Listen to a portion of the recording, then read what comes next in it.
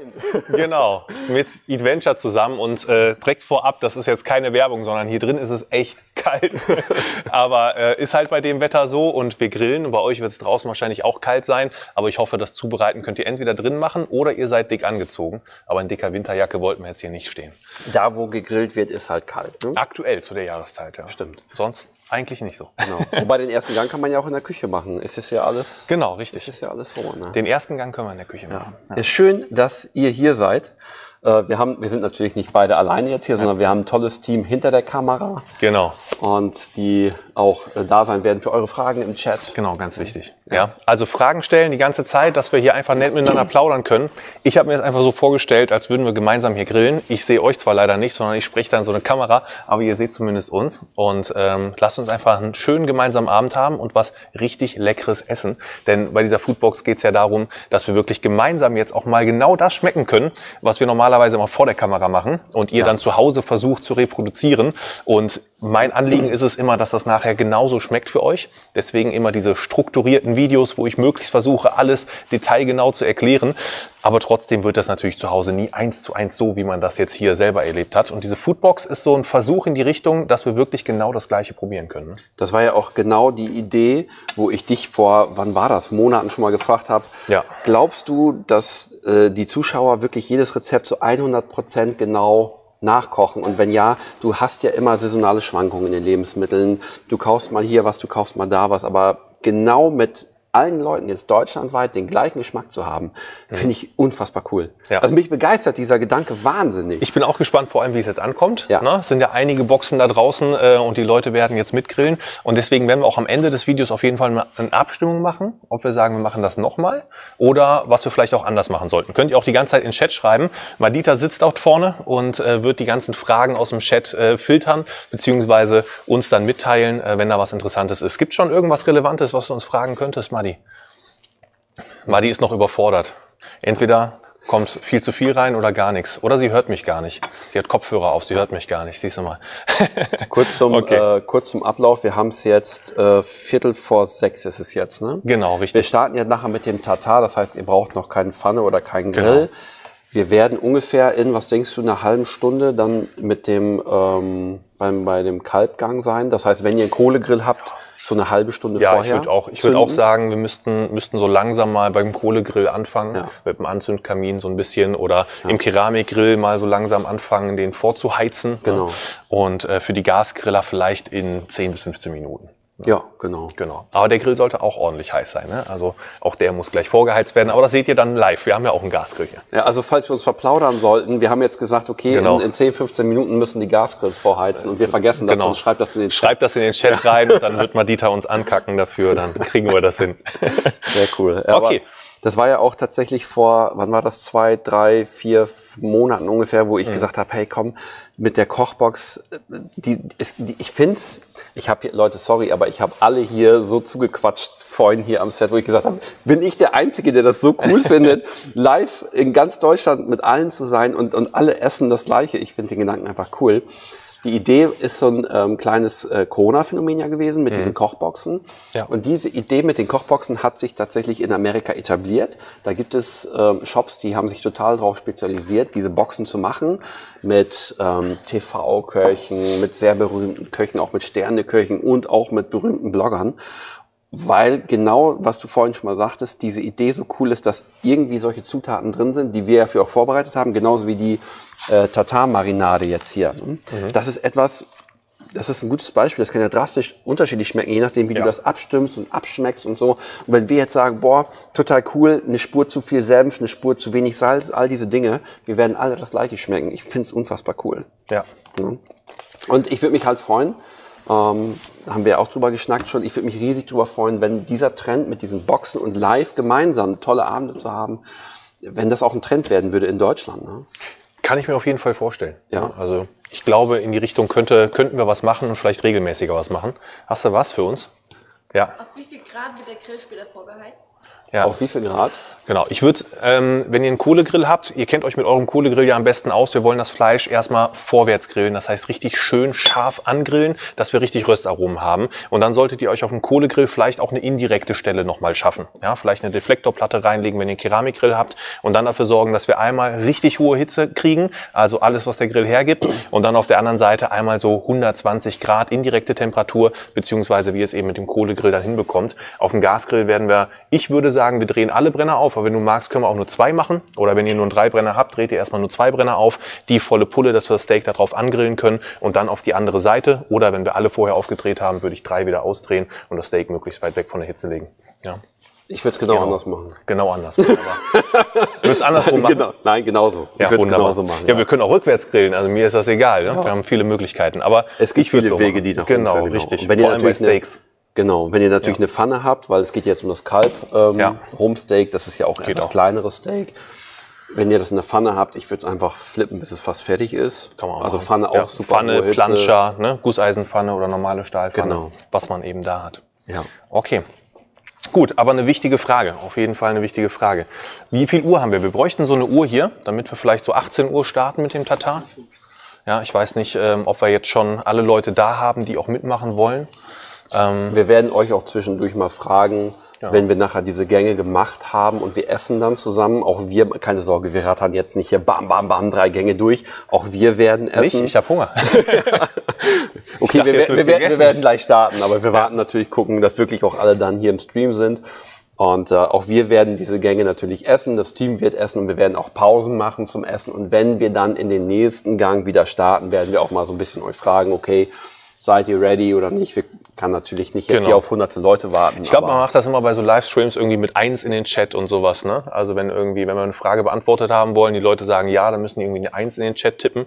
Das ah. habe ich immer so mitbekommen. Also wir können ja mal äh, für die Leute, die mitmachen wollen, die Bock drauf haben, seid ihr ready, dass wir Tatar machen können. Also Grillen braucht ihr nicht vorbereitet haben, aber einfach die Zutaten fürs Tatar. Sollen wir damit direkt starten? Dann schreibt jetzt mal eine eins in den Chat und dann gucken wir mal, ob wir da ein paar Einsen vorfinden. Ich gehe mal davon aus, werden nicht alle im Chat aktiv sein, aber wenn wir vielleicht so fünf bis zehn Rückmeldungen im Chat allein schon kriegen, dann haben also, wir schon mal einen Überblick. Man braucht ja den YouTube-Account, damit man im Chat schreiben kann, oder? Ja, und man muss sogar Abonnent sein. Ich habe es extra so eingestellt, dass äh, nur ah. Abonnenten äh, Kommentare schreiben dürfen. Das heißt, äh, jeder, der was schreiben will, muss jetzt abonnieren. Tut mir leid. okay, es kommen sogar schon. Es kommen, okay, okay, ich sehe, ich sehe, ich sehe. Es kommen Einsen in den Chat. Wunderbar, sehr schön. Also ihr seid wirklich am Start. Das freut mich. Ähm, ja, Tata. Sollen wir mit dem Fleisch starten, dass wir das einmal klein fein würfeln? Genau, wir haben bewusst den ersten Gang äh, einfach äh, gehalten, weil es ist ja oft so. Willst du auch Fleisch schnibbeln oder soll ich das übernehmen? Du kannst ruhig Dann mach Gas, ich das gerne. Gas geben. Ich mach das Steak und du richtest nachher an. Ja. ähm, wir haben den ersten Gang ja bewusst ja, relativ easy konzipiert, damit man schnell auch starten kann, weil ja wenn man so ne, anfängt zu kochen oder zu grillen, finde ich, du brauchst immer so einen Kick-Off. Du hast das gerade auch gesagt, das ist bei unseren Grillseminaren auch immer so.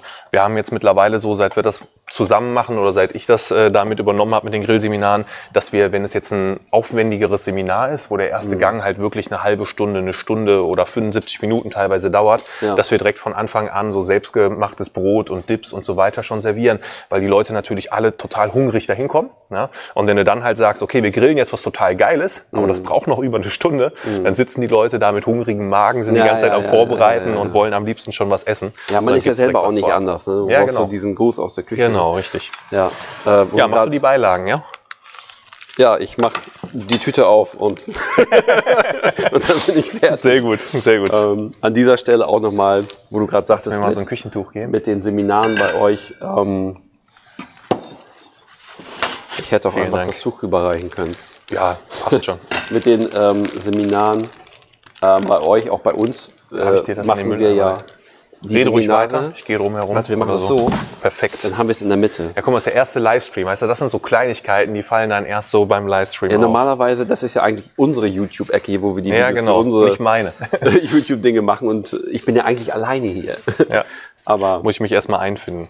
Also Fleisch trocke ich immer oder tupfe ich immer so ein bisschen trocken und mehr brauchen wir erstmal gleich nicht machen. Dann reden wir gleich übers Würfeln, aber bring erstmal deinen Satz zu Ende. Ja, also was ich nur sagen wollte, ist mit den, du sagst das mit den Seminaren bei euch. Mhm. Wir sind ja auch wieder letztes Jahr nach Corona mit den Seminaren, nach Corona mit den Seminaren gestartet. Ja. Die äh, unser Daniel bei uns macht, der bei uns Eventmanager ist. und ähm, auch die Kochbox hier entwickelt hat und das alles abgestimmt hat natürlich, ne? auch mhm. was heißt entwickelt. Er ist so die, er hat so die Feder geführt mit dir und mir zusammen, weil diese Kochbox basiert ja auf unseren Ideen, was wir beide lecker finden, was wir beide cool mhm. finden und wahrscheinlich, weil wir beide so ein paar Gedanken in die in die Schale geworfen haben, sind auch alle drei Gänge irgendwie mit Fleisch. Ja, mit Steak auch. Ne? Und, mit Steak genau ja. und kein Dessert. Ja, war ja so ein paar Steaks auch, die ich mir gewünscht habe. Ich habe ja bei einem Steak wirklich, was heute mit dabei ist, gesagt, das muss unbedingt mit dabei sein, mhm. weil ich will, dass die Leute das zu Hause auch so mal probieren, wie dieses mhm. Steak ist. Ganz viele haben sich schon äh, einige von den Sachen gekauft, nachdem ich die so in mhm. Videos mal getestet habe und gesagt habe, wie ich die geschmacklich empfinde. Mhm. Vielleicht aber der ein oder andere, der diese Box gekauft hat, noch nicht und mhm. äh, kann das jetzt gleich dann direkt mal mitempfinden. Ja. Wie fein magst du denn dein Tatar? Willst du noch so ein bisschen Biss mit dabei haben? Ja. Ja, ne? Ich finde es ja. cool, ja. Weil du, oft ist es so, wenn du Tatar kaufst, dann wird es durch den Wolf gelassen. Ja, genau. Und dann hast du eher Hackfleisch. Genau. Und Tatar ist eigentlich kein Hackfleisch. Genau. Genau. Ja. Trotzdem würde ich immer empfehlen beim Filet, wir haben jetzt hier Filetsteaks, das bedeutet, wir haben jetzt hier den Faserverlauf in diese Richtung. Und ich würde jetzt beim ersten Schnitt, wenn ihr ein sehr scharfes Messer habt, wenn ihr kein so scharfes Messer habt, aufpassen, weil man kann abrutschen mit einem sehr scharfen Messer, aber gegen die Faser jetzt nochmal erstmal hier runter zu schneiden. Ja, dass wir hier so eine schöne Tranche haben und erstmal das Filet schön in Scheiben schneiden und diese Scheiben dann klein fein würfeln. Können wir ein Close-Up machen oder bist ja, du mit der Kamera bestimmt. drauf? Ja, ah, perfekt. Okay. Guck mal, dann sieht, sieht man das hier, ne? Wenn, wenn also. die, ähm, ihr seid jetzt auf der Close-Up-Kamera, ne? Okay, cool. Ich dachte halt, ob da irgendwelche Lichter leuchten, dass wir das wissen. Jetzt sieht man auch hier, wie das Filet schön auseinanderdriftet und das können wir dann gleich fein würfeln. Wie dick ihr das schneidet, euer Belieben. It's up to you. Ne? Also wirklich, wo man sagt, okay, entweder ich möchte es möglichst fein oder eben nicht so fein. Wir haben jetzt hier noch so ein kleines Stück von einer Sehne. Ist jetzt kein perfektes Messer, um eine Sehne zu parieren, aber die würde ich einmal runternehmen, weil die stört nachher nur Mundgefühl. Ja. Sehne, wobei es ist nicht wirklich eine Sehne. Ja. Es wird immer Sehne genannt, es ist äh, Fett noch. Dieses Fett vom Filet ist ein sehr leckeres Fett, wie ich finde, aber es gehört nicht in Tatar. Ja. Also da sollte man das Fett schon wegparieren. Klassisches Tatar ist ohne Fett. Ja, hier hast du tatsächlich auch nur Fett. Aber ja. du hast ja am Filet auch diese eine große Sehne dran. Genau. Und da dachte ich jetzt, das wäre die noch. Aber hier ist tatsächlich jetzt Fett. Das geht so in Richtung hier, Richtung Filetkopf. Deswegen ist das hier noch mit dran. Ja. Ähm, wo wir gerade sagten, mit dem ähm, Fleisch für ein Tatar aus einem Fleischwolf, finde ich sehr blöd, weil ein Tataus und Fleischwolf kann schnell wässrig werden. Es kommt darauf an, was für ein Fleischwolf man hat. Die Fleischwölfe, mhm. die wir zum Beispiel für unser Hackfleisch benutzen, für die Burger Patty Produktion oder die Dry-Aged ähm, Hackfleischproduktion, äh, das sind Fleischwölfe, die haben Schneidwerke drin, ja. mehrere tatsächlich, die in mehreren Schritten das Hackfleisch kleiner schneiden, scharf wie Rasierklingen. Und durch dieses wirkliche Schneiden. Dann wird es nicht so gedrückt und gequetscht. Genau, weil Fleischwolf ist oft einfach nur eine Förderschnecke. Ja. Und am Ende ist so diese Lochscheibe, wo es durchgequetscht wird. Und du ähm, komprimierst das Fleisch. Es wird durch die Lochscheibe gedrückt und expandiert, wenn es wieder rauskommt. Es wird zerfetzt, es wird nicht sauber geschnitten mhm. und du quetscht das Wasser aus den Muskelzellen durch den enormen Druck. Ja. Und deswegen ist ein Tatar aus dem Fleischwolf, besonders wenn es ein schlechter Fleischwolf ist, katastrophal. Ist ein und ganz am anderer Biss. ist es, wenn wir es gerade selber frisch schneiden. Ja. ja. ja, ja. So, genau. Ich habe es jetzt in Streifen geschnitten und diese Streifen, die werden wir jetzt nochmal schön fein hacken. So fein, wie wir das eben wollen.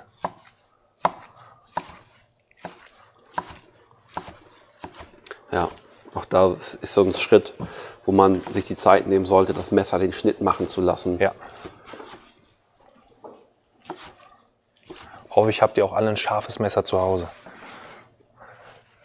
Man kann auch äh, Tatar tatsächlich schrappen. Hast du das schon mal gemacht? Nee, willst du es zeigen? Äh, jetzt ist es zu spät. wenn, du so ein, wenn du so ein ganzes Filet hast, sind wir in der Totalen oder im Close-Up? Da sind wir wahrscheinlich in der Totalen. Ne? Okay. Und da sind wir im Close-Up. Wenn, ähm, wenn ihr so ein ganzes Filet habt, das ist ja so ein langes Ding, dann kann man das, ähm, es, es eignet sich das dann anzufrosten um es ein bisschen steifer zu machen. Und dann kannst du mit dem Messer tatsächlich, ich tue jetzt mal so, als wenn mein Arm oder die Hand das Filet ist, und du kannst dann mit dem Messer das so runterschrappen. Das Wie so Schabefleisch, ja? Ja, genau. Ja. So ein geschrapptes, ich kenne es als geschrappt. Okay, ich hätte jetzt Schabefleisch, hätte ich dazu jetzt gesagt, ja. ja. Eine Frage. Ja. Was hat es eigentlich mit dem Red Heifer auf sich? Scheint ja keine Rinderrasse zu sein. coole Frage. Ähm, was hat es mit dem Red Heifer auf sich? Scheint keine Rinderrasse zu sein. Äh, nein, es ist eine Golden Cross Züchtung. Wir hatten früher, ganz am Anfang vor vielen, vielen Jahren, reinrassig Limousin, weil Limousin ist ja eine französische Rasse, die eine richtig schöne, feine Faser hat. Und was natürlich toll ist für Fleisch, äh, Steakqualität. Aber nicht so gut marmoriert. Nicht so gut marmoriert, ja, genau. Äh, besser marmoriert sind äh, die schottischen Rassen, Angus, Hereford vor allen Dingen. Und so ist eine Golden Cross Züchtung entstanden und vor allen Dingen auch der, der Gedanke geboren worden zu Golden Cross, äh, was zum Beispiel ist US-Beef.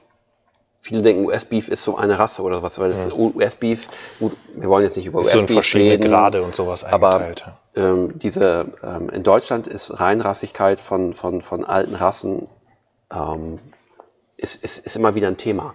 Wobei man sagen muss, dieses markenorientierte, reinrassige Denken ist bei dem modernen Fleischmarkt nicht so sinnvoll. Ja, ist schwierig ist schwierig. Und deswegen sind wir angefangen, da äh, schottische Rassen mit einzukreuzen, weil die Schotten, die haben Marmorierung mitgebracht. Mhm. Und das Limousin hat halt diese feine Fleischfaser mitgebracht. Und so ist dieses Golden Cross entstanden. Golden Cross Züchtung muss man sagen, das goldene Kreuz, also was bei Springpferden oder in der Pferdezucht äh, gang und gäbe ist, dass man das eine Pferd nimmt mit den Eigenschaften, das andere mit denen. Und ich will beides in einer Nachzucht kombinieren. Mhm. Das ist das Red Heifer und der Gedanke zum Red Heifer. Und mittlerweile, also das Red Heifer ist jetzt ja auch fast schon zehn Jahre alt, äh, ist das ein... Ähm, hat sich einen, muss man schon sagen, einen guten Ruf aufgebaut in Deutschland. Ja. Bei ausgesuchten Steakhäusern, bei vielen Bloggern, die viel mit Fleisch arbeiten und auch im, im, bei unseren Fachhändlern. Ne? Ja.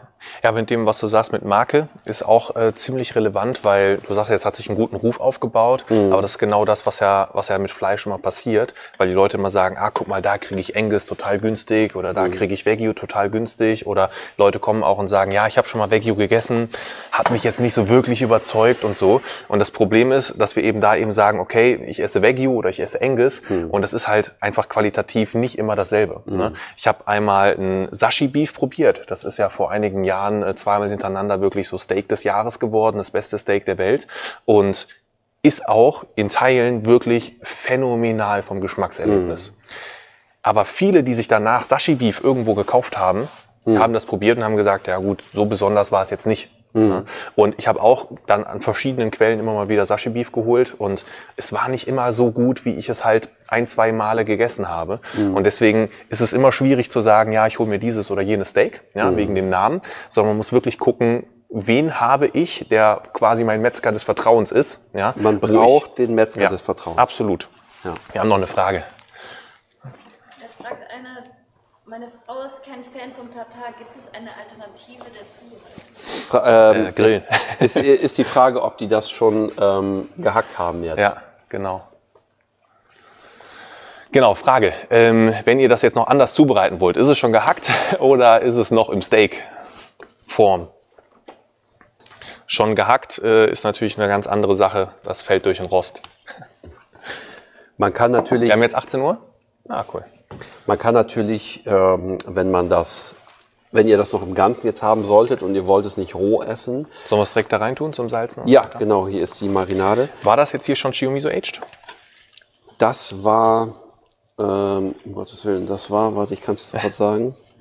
Dry aged. Dry das war dry okay. aged. Dann ja. brauchen wir auf jeden Fall auch noch ein bisschen Salz. Ja. Das, äh, hier in die Kamera, die ist drauf. Wunderbar. Wir sind jetzt im Close-Up. Ja. Willst du direkt marinieren oder vorher noch mal ein bisschen ja. Salz und pfeffern? Ich würde die Marinade erstmal dran machen. Okay. Und dann gucken, wie der Salzgehalt ist und dann nachsteuern. Ja, wunderbar, dann machen wir das. Ist die, ähm, ist die Kante hier vorne, sieht man die im Close-Up? Ach, schade. Weil ich würde euch gerne, oder machst so, wie, wie du das machst, dass man es so rausstreicht. Man kann das genau. aber auch. Machen wir so. Bitte? Ist noch nicht gehackt, das Steak ja, dann würde ich es im Idealfall tatsächlich grillen, so wie wir nachher auch das Steak grillen. Aber ich glaube, das äh, kriegt man auch jetzt schon gut hin. Und dann würde ich das mit der Marinade und allem im Nachhinein anrichten. Ja, also man kann das Steak jetzt als Steak machen, und? ganz normal. Man? Und man kann es dann auch als Steak essen und die Marinade als Steaksoße nehmen. Oder man ähm, macht das Steak und hackt es dann, wenn es auf den gewünschten Gargrad gebracht wurde, beispielsweise Medium, und hackt es dann klein. Das ist so ein gegartes Tatar dann und macht es dann genauso wie wir jetzt hier mit der Marinade. Das geht halt auch. Genau. So. kann man sehen. Ne? Grill ah. Grill vorheizen. Ja, sehr gut. Ah, ihr seid die Besten. Sehr gut. Ich wusste, dass wir uns verquatschen. Also Leute, Grill vorheizen. Wir machen jetzt zum Tatar ja auch das Brot. Wir haben ja geschrieben, macht genau. euer Lieblingsbrot. Und ihr könnt das Brot auch natürlich mit auf dem Grill, weil Brot braucht ja jetzt keine 300 Grad Hitze zum Antoasten.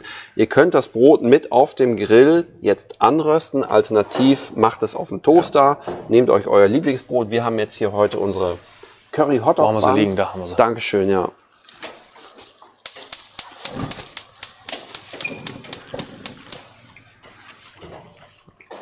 Sehr schön. Hast du alle Brenner oder zwei? zwei äh, ich habe jetzt erstmal die drei, weil hier Perfekt. diese heiße Zone ist. Sollen wir die auch direkt mit antoasten? Ja. Ja. Machst du das komplett indirekt oder machst du so zwei Brenner auf niedrigste Stufe und dann schön mit ein bisschen aufgeschnitten Mayo und draufgelegt? Was, ähm, was, was, was Brot antoasten geht, ja. ne? sprichst du mit dem dümmsten Menschen. Echt? Ja. Ich, seitdem ich jugendlich Übernehme bin, ich das. äh, seitdem ich wirklich zwölf bin, mache ich dir Fleisch und Steaks auf den Willst du zwei haben zum Verbrennen? Ich mache die anderen. wirklich. Und ich denke jedes Mal, da liegt ein Fluch auf mir. Also ja. Fleisch, seitdem ich zwölf bin, mache ich die auf den Punkt. Ohne Thermometer, ohne alles. Ja. Aber Brot. Ohne Thermometer ist eine Ansage. Willst du gleich probieren? Ja, jetzt ohne im Livestream. Ja, ja, ja. genau. Ja, aber äh, das ist, äh, ich sag mal, wenn wir über Gar gerade sprechen und auch ohne Thermometer oder mit ja. Thermometer, ich arbeite auch immer mit Thermometer, klar, weil ich es immer perfekt Natürlich. haben. Aber es ist nicht, es ist ein Unterschied, glaubt, du ein Steak auf 52 Kern hast oder 54. Ja. Aber hey, ich esse gerne mal auf 52, ich esse mal auf 54, ja. mal auf 55. Ich bin da auch nicht äh, so empfindlich. Das ist, und auch sowieso, wenn ich Gäste habe und habe ein ganzes Ribeye, schneide mir das in Steaks auf. Mhm. Ich mache wirklich viele Steaks. Ja. Du hast immer eine kleine Schwankung mit drin, aber so what, das ist ja. nicht so schlimm. Gut, dann machen wir das Brot einmal für alle. Wir haben wir die Kamera? Also ich würde euer Brot, egal was ihr habt, sei es jetzt ein Baguette oder generell Brot, Scheiben, ich würde es auf jeden Fall einmal aufschneiden oder mir eben eine Scheibe Brot nehmen. Da habe ich einmal ein frisches, sauberes Messer haben, wo noch kein Fleisch dran war. Yes. Perfekt. Ich desinfiziere dir das mal ab. Vielen Dank. Dann hast du es gleich wieder frisch gebe ich das einmal rüber. Warte, wir machen so. Aber hier hat ein leichtes Gewicht. So, genau, tauschen wir einmal. Upp, das ging gut. Ich liebe ja große Schneidbretter.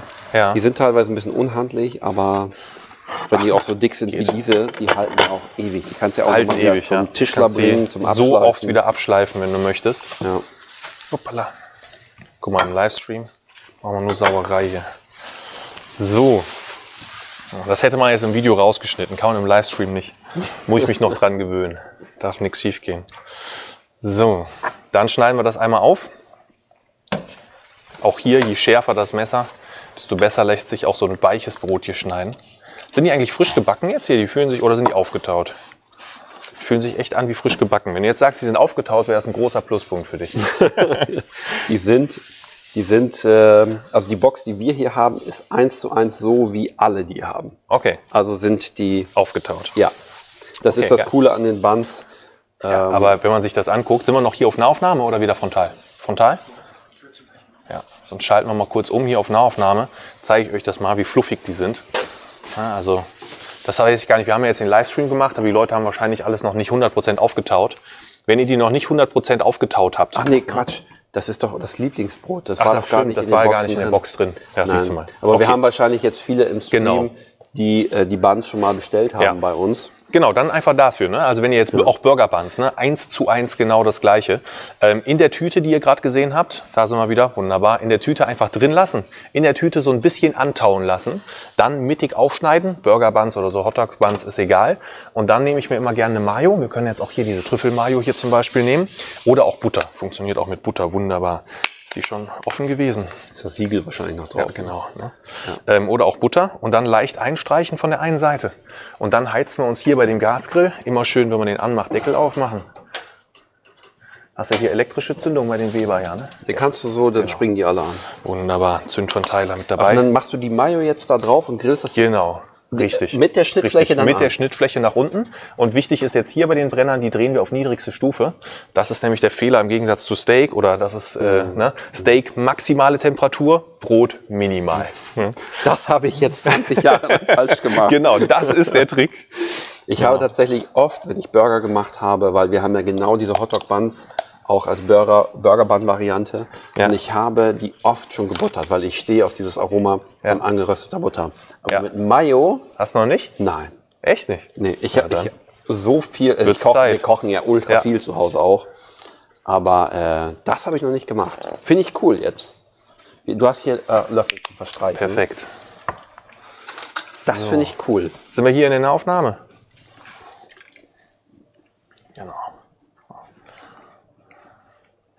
Letztendlich geht es darum, dass wir so ein bisschen so eine, eine Fettbasis haben für das Brot. Ja.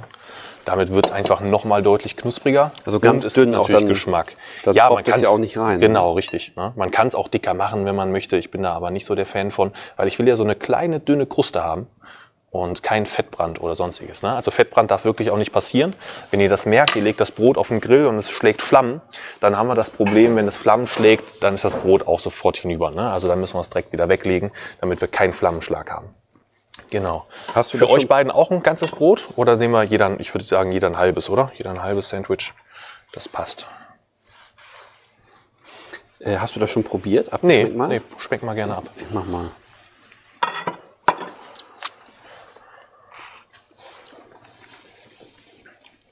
Und, was sagst du? Ich find's geil. Hört sich nach einem Aber an. Jetzt fehlt noch. Nee, nee, nee, nee. Ich wollte wollt nur, wir, wir haben, ähm, wir haben bewusst ähm, das ein bisschen senflastiger gemacht. Mhm. Weil, Passt aber auch beim Tatar. So brauchst du eine Säurenote beim Tatar auf jeden Fall mit dabei. genau. Ja. Und Senfsäure ist ein richtig geiles Thema. Ich finde sowieso Senf ist, ich betrachte Senf auch eher als Gewürz und es passt so gut zu Rindfleisch. Mhm. Dieses klassische Rouladen ne, von der Mutti, von der Omi äh, mit, mit Senf eingestrichen, Ja. aber auch wirklich, wenn du Braten machst vom Rind und auch ganzes Roastbeef. Mhm. Senf ist ein ganz tolles Gewürz. Ja. Hast ja auch in Amerika so teilweise zumindest, die sind ja auch örtlich da immer sehr unterschiedlich, aber so Alabama, die Region, hast du ja auch sehr viel senflastige Soßen, sehr, sehr saure Soßen mit dabei. Passt auf jeden Fall sehr gut. Jetzt bin ich gespannt. Mit dem Brot? Ja. Ja, müssen wir gucken, ob der Grill schon hier heiß genug ist auf der Seite. Wird noch zwei, drei Minuten warten, dann können wir das Brot da drauflegen. Ähm, also für dich kein Pfeffer, kein Salz mehr, nix. Äh, probier, also wir haben ja hier, wir können ja auch noch toppen dann. Wir haben hier die. Was sagen denn die Leute zu Hause, die jetzt mit dem Tatar auch schon so weit sind, die abgeschmeckt haben? Müssen wir noch Salz, Pfeffer, irgendwas drauf machen? Auf der Kamera sind wir. Salz, Pfeffer, irgendwas drauf hier? Ich probiere jetzt auch mal. Ich würde, weil ich den Steakpfeffer so Mhm. geil finde, ich würde es nachher, wenn es angerichtet ist, oben drüber den Pfeffer machen. Ich würde so eine Prise Pfeffer auch jetzt schon mit reingeben. Ja? Ja, so eine Prise Pfeffer kannst du auf jeden Fall jetzt gebrauchen. Können wir gerne machen, weil wenn du den Pfeffer nämlich oben drauf noch mit hast, dann riechst du den so ein bisschen noch. Das macht diese Ja. Gesamtkomposition noch ein bisschen. Sag Stopp. Ja, so machen wir es. Einmal schön durchrühren. Wir haben ja gleich auch noch die Flakes mit dabei. Die sind ja auch noch mal so ein bisschen salzig, ne? Leichte Schärfe. Und leichte Schärfe haben sie auch noch mit dabei. Ja.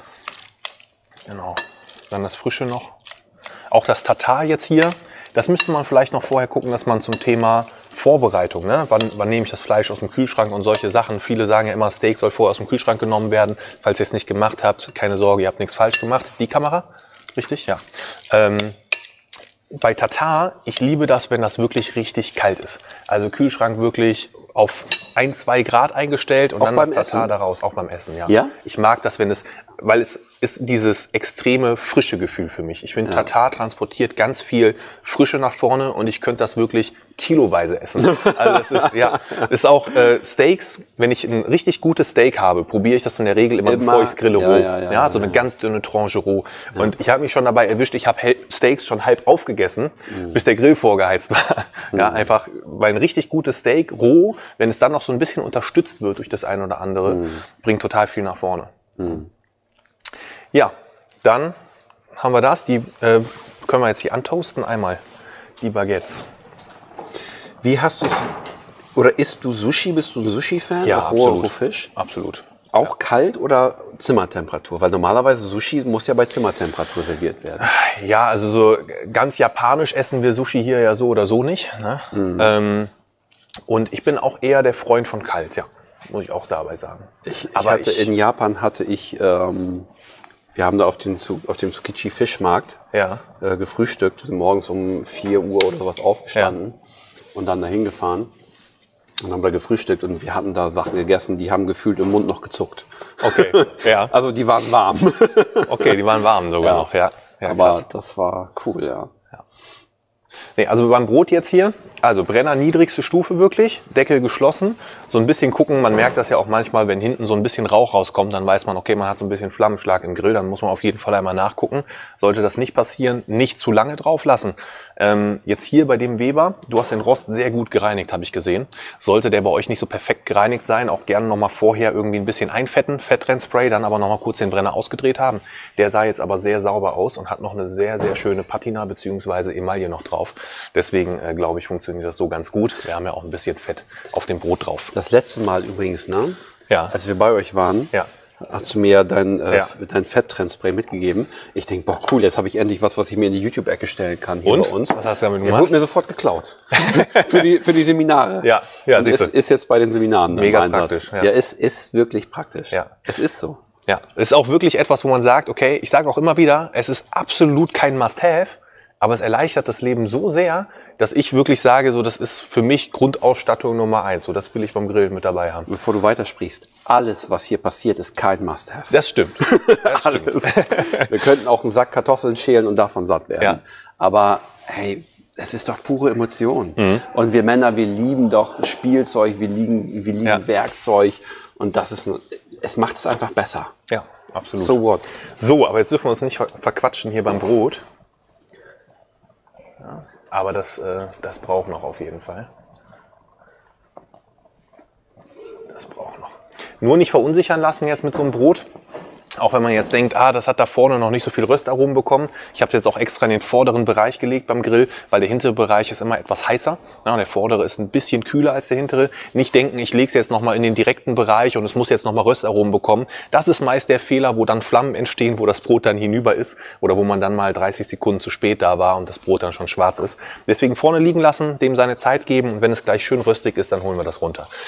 Auch ein Vorteil bei dieser Variante, wenn wir jetzt zum Beispiel Burger Buns aufbacken, ist das phänomenal, weil die Burger Buns, selbst wenn die noch leicht gefroren waren und ihr legt die so auf den Grill, schließt den Deckel, dann zieht der gesamte Dampf, der noch in den Burger Buns vom Frieren drin ist, durch die Buns durch und die sind nachher sowas von fluffig und weich wieder. Auch hier diese Brötchen, die eben schon weich waren, man merkt das jetzt schon, sind noch mal viel weicher geworden. Das ist auch mit der Butter, ne? ja. weil das, das Restwasser dampft in genau. das Bun rein. Das genau. Ist, ist genial. ja. ja. ja.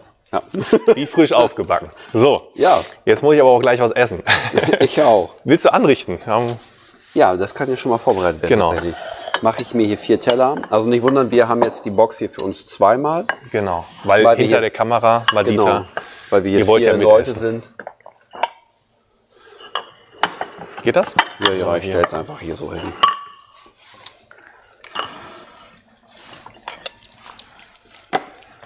Wenn ihr habt ein rohes Ei, ich hm. liebe hm. rohes Eigelb. Ja. Einige sagen, oh mein Gott, wie kann man das nur tun? So im Nachhinein oben drauf geben, aber nur das Eigelb. Ne? Also wirklich das Eigelb und dann leicht anstechen, dass es schön darüber fließt. Ich liebe rohes Eigelb.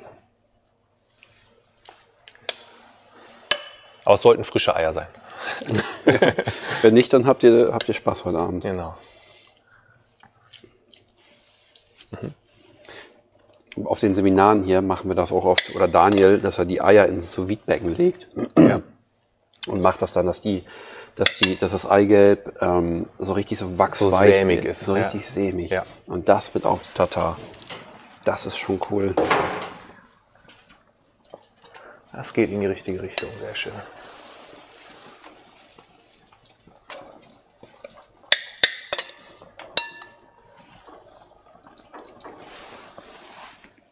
Grillzange haben wir doch hier.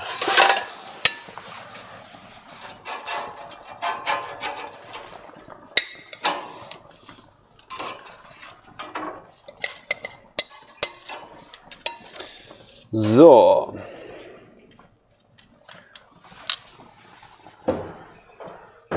Haben wir's.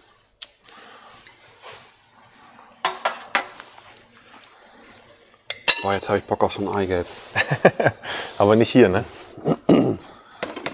Bestimmt irgendwo in, in, in, in Daniels Food Area, aber. Aber ihr habt ja gerade noch eine Veranstaltung da, ne? Es läuft tatsächlich jetzt gerade im Hintergrund bei uns ähm, Ja. läuft ein Grillseminar, ja. Ja.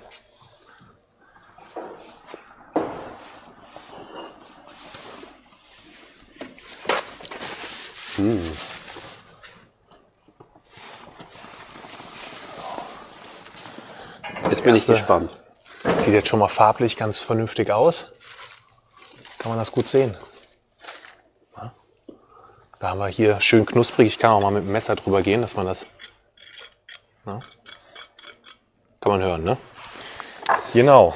Wenn das Brot jetzt so gut wie fertig ist, also beim Anrichten gibt es keine genaue Vorgabe, macht das, wie ihr Lust drauf habt. Ich mache jetzt hier die Mayo drauf. So ein Klecks.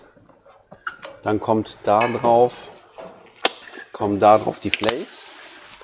Weil du hast die Mayo, die ist weich, du hast das Tatar, das ist weich. Und dann diese Flakes, die ja eigentlich gedacht sind so als Burger-Topping die hier noch so einen richtig schönen Crunch mit reinbringen. So.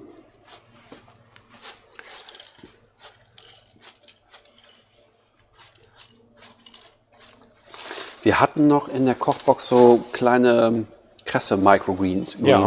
Waren die für diesen Gang oder für, Nee, die einen- waren für einen anderen. für den Caesar Salad? Ne? Ja, genau. Okay, gut. Willst du die da mit dabei haben, so ein paar, so ein paar Microgreens? Machen sich mit Sicherheit gut. Ja, machen wir Ja? einfach mal. Mach mal rein. Wir zeigen gleich mal in die Kamera, was wir meinen.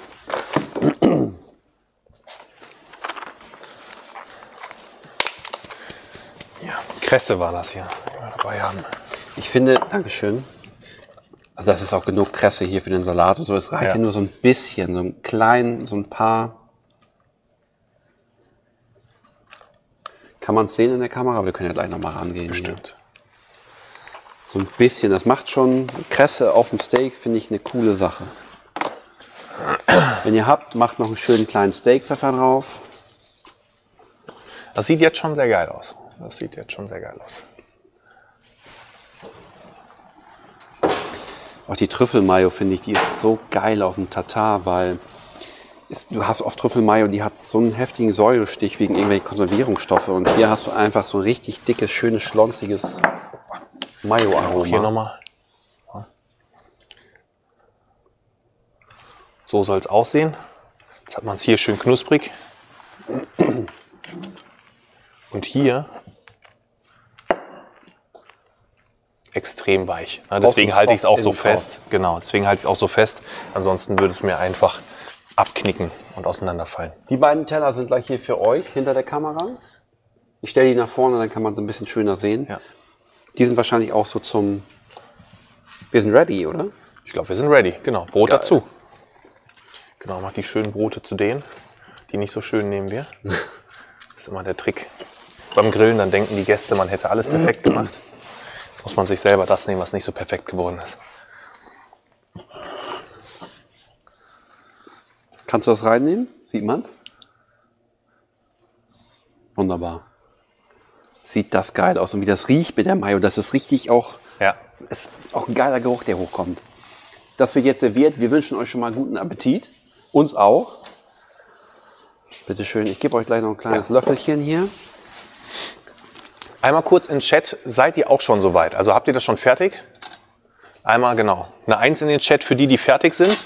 Und wenn ihr schon fertig seid und schon aufgegessen habt, könnt ihr auch eine Eins in den Chat schreiben. Bitte schön. so. Bitte schön.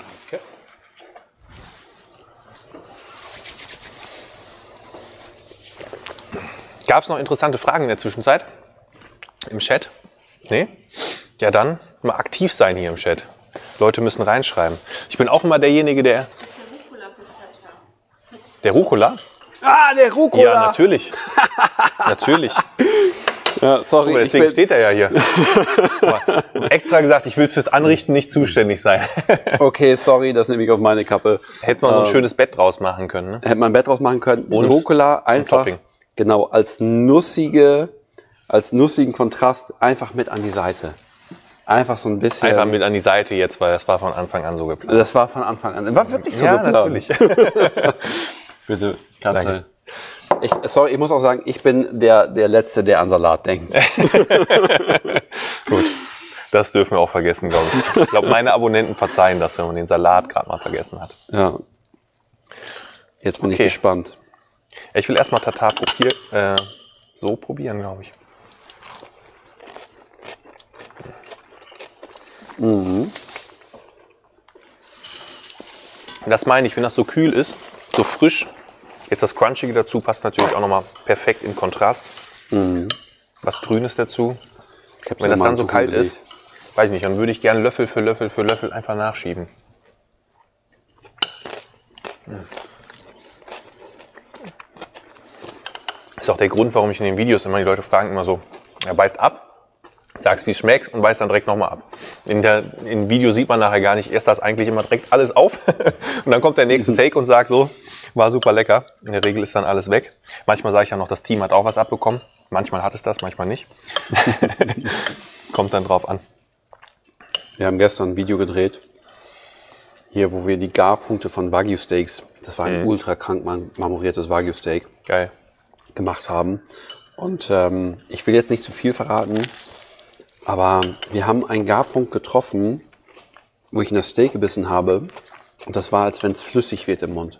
Mhm. Man sagt oft wie Butter, aber mhm. das war wirklich null Konsistenz. Wirklich so eine explosionsartige. Als, ja. Mhm. Es strömt aus, erfüllt den gesamten Mund. Ich ja. bin fast, fast zusammengebrochen hier und lag sabbernd und zitternd auf dem Boden.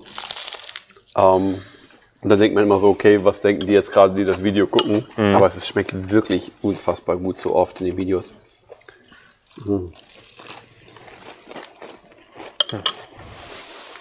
So. Wir könnten so einen Livestream auch einfach mal machen, nur eine Stunde lang essen, oder? Mhm. Also hätte ich nichts gegen. Ich weiß nicht, wie die Zuschauer das sehen. Aber ich finde es gut. Ich hoffe, ihr seid auch gerade genüsslich am Essen die meisten Boxen wurden ja bestellt, so nicht eine Box pro Bestellung, sondern eher zwei. Mhm.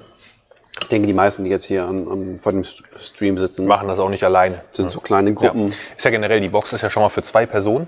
Ja, mhm. 99 Euro für zwei Personen, reden wir von 49,50 Euro pro Person, was für drei Gänge mit Fleisch und Co.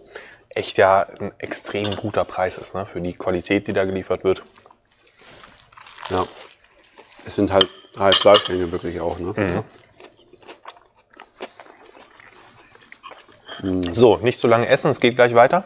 Aber ich verputze das hier noch kurz und dann. Ja, Frage. Ja. Hier ist die Frage, die Box, mhm. die gibt es äh, hinterher nochmal zum Nachbestellen, weil gerade Sturm und Regen ist. Mhm. Oder das Bestellen mhm. Ich denke, genau die gleiche Box werden wir nicht nochmal machen. Mhm. Die war halt konzipiert genau für diesen für dieses Event. Aber mh, hm, ich finde Feedback cool. Mhm. Wenn man sagt, hey, das ist ja ganz interessant und ich würde gerne mal mitmachen, mh, hm, dann könnte man ja eine andere Box mal konzipieren. Ja, da können wir ja im Nachhinein, wenn jetzt die Leute sagen, nach dem dritten Gang, jo, war alles sehr gut, dann können wir sagen, wir machen das einfach nochmal. Also man kann die Produkte komplett nachkaufen. Du kannst ja das ganze Fleisch aus jedem Gang kannst du ja bekommen. Nur halt, so wie jetzt die Marinade von dem Tatar, die wir jetzt hier gemacht mhm. haben, nicht. Die müsste man sich dann halt selber machen. Aber die, das ganze Fleisch kann man bei uns einzeln nachkaufen. Und dann hier den Stream nochmal nachkochen. Das würde gehen, ja. Ja, dann müssen wir vielleicht ein Rezept demnächst online stellen für die Marinaden und so und dann kann man das nachmachen.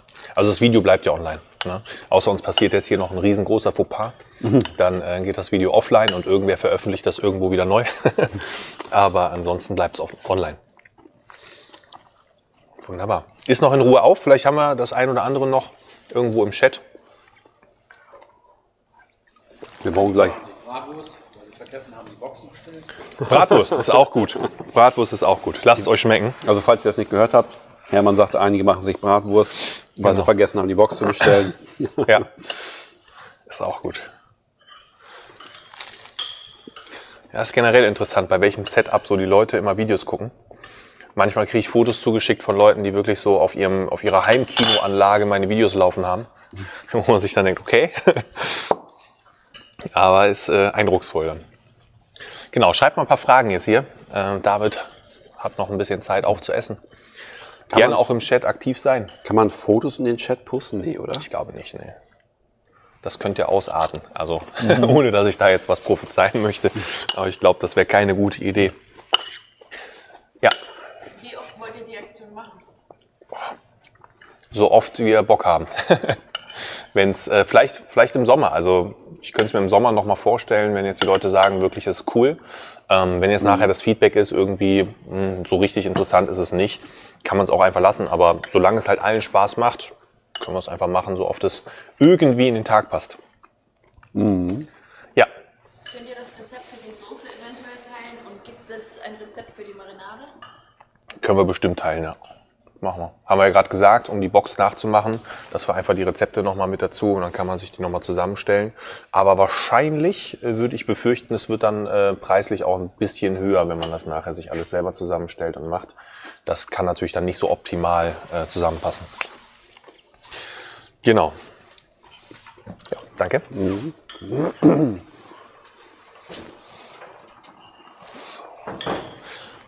Hast du eine Bürste hier im Grill? Ja, da. Links, ja. Gefunden. Ich habe noch lange. Aber kannst ja.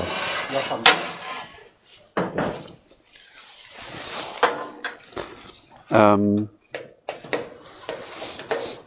Caesar. Das ist der nächste Gang.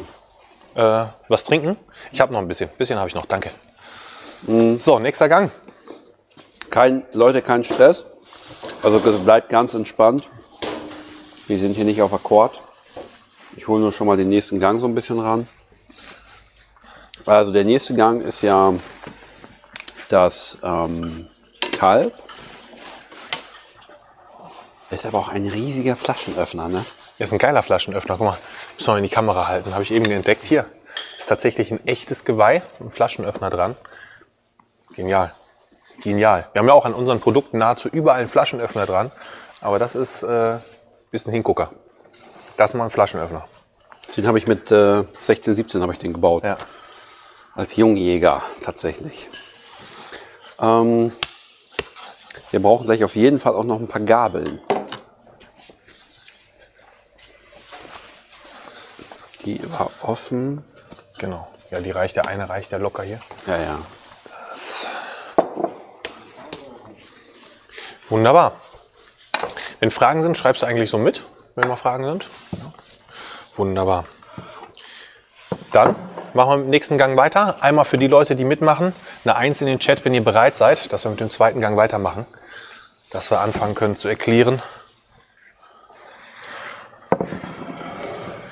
Ach so, wenn man nicht bereit ist, äh, dann eine 2, glaube ich, in den Chat. Ich glaube, es macht mehr Sinn, wenn ich frage, seid ihr bereit? Zehn Leute sagen, jupp, wir sind bereit. 100 Leute denken sich, äh, nein. Also wenn ihr nicht bereit seid, eine 2 in den Chat. Ähm, dann müssen wir noch warten. Wenn keine 2 in den Chat kommt, dann warten wir nicht. Also abonnieren und reinschreiben. kommt keine 2? Eine zwei. Eine 2? Gut, dann warten wir Kein auf Stress, kein dich. Wir Stress. warten auf dich. Hermann, wenn du gleich Zeit hast, kannst du Daniel mal nach Gabeln fragen. Perfekt. Wir brauchen gleich zum Essen brauchen wir auch eine Gabel, ne? Ja. Caesar, hier, da ist es. Das Brot war genial.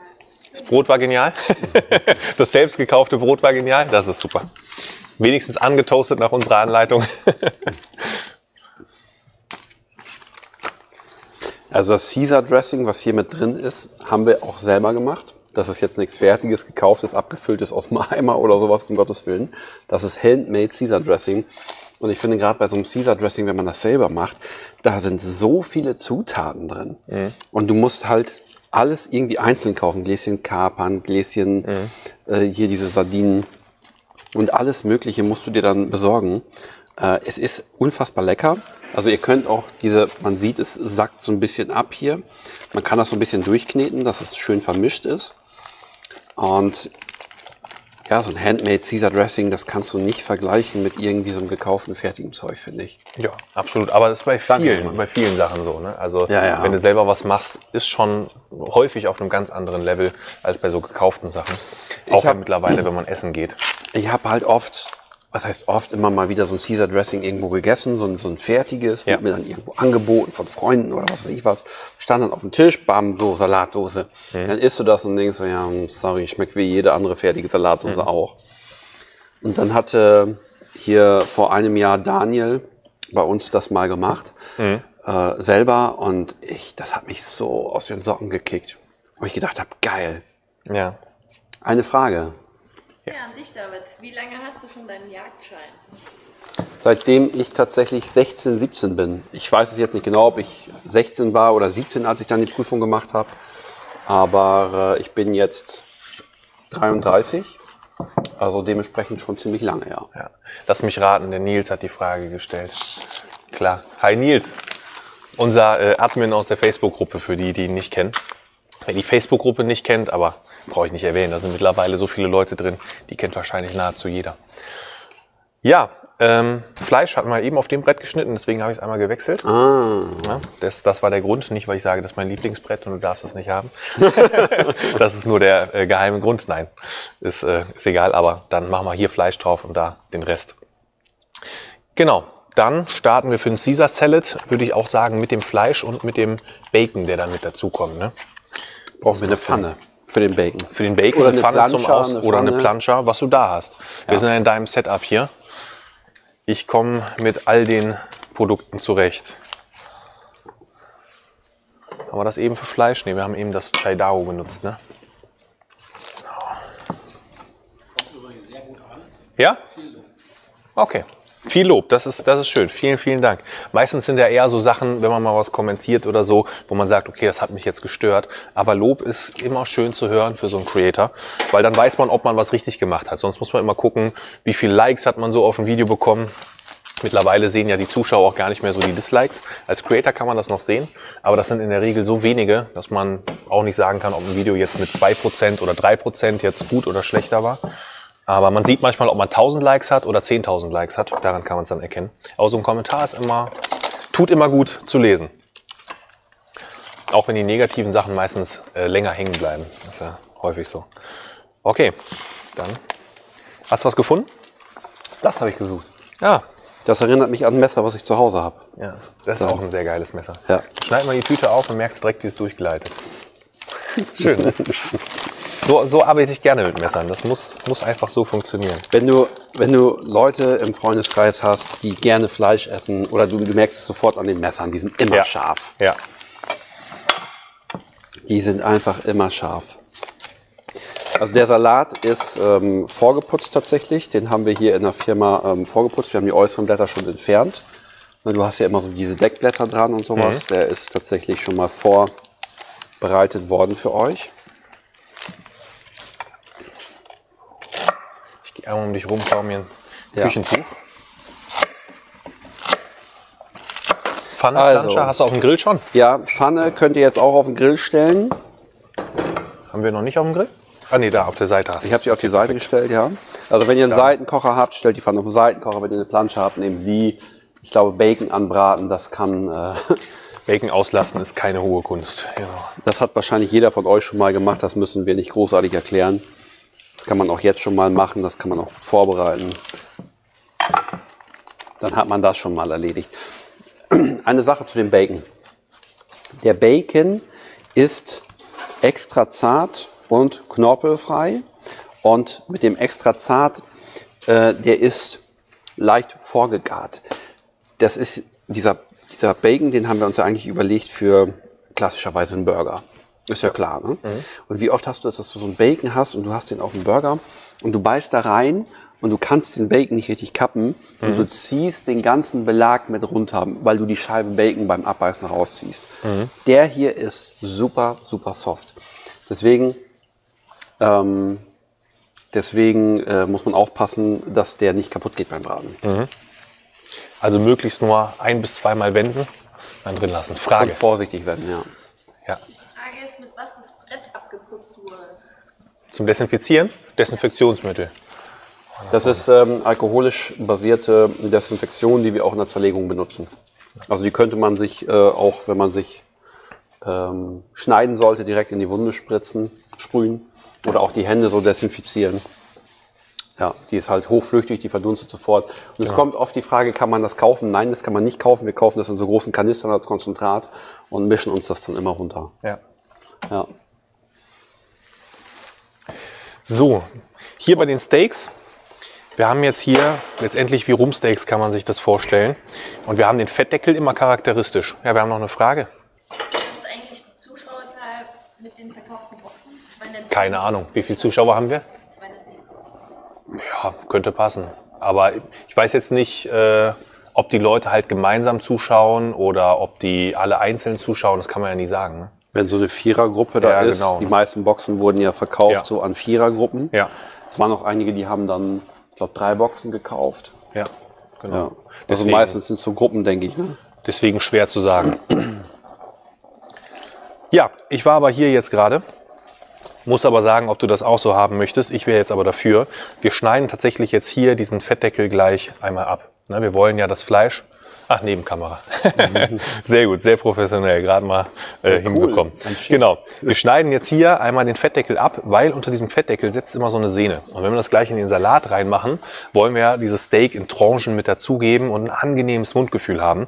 Und wenn ich jetzt normalerweise mir ein Rumsteak oder sowas grille und ich will den Fettdeckel mitnehmen, wunderbar. Wenn ich das im Salat in Tranchen habe, dann ist diese Sehne manchmal ziemlich zäh. Also ich kann das auch mal hier, wenn wir das in Nahaufnahme hinkriegen, kriegen wir das hin. Wir haben hier, das ist Fett und das hier, das ist Sehne. Und diese Sehne, die gibt ein nicht so schönes Mundgefühl ab. Kriegt man das hin? Sonst kommen wir noch mal näher ran. Genau. Also, das hier, das ist Fett. Sieht man sofort. Ne? Hier kann ich mit dem Messer reinritzen. Das hier, das ist Sehne. Das ist deutlich zäher und das wird jetzt auch beim Kurzbraten eben nicht weich. Und deswegen diesen Fettdeckel, also eigentlich wollen wir die Sehne runterschneiden, aber weil der Fettdeckel unweigerlich dann mit verloren geht, schneiden wir diesen Fettdeckel inklusive Sehne einmal ab. Bist du Eine dafür? Frage. Ja, auf jeden Fall. Sehe ich. Haar genauso. Sehr schön. Also teile ich genau die gleiche Einstellung dazu. Wunderbar.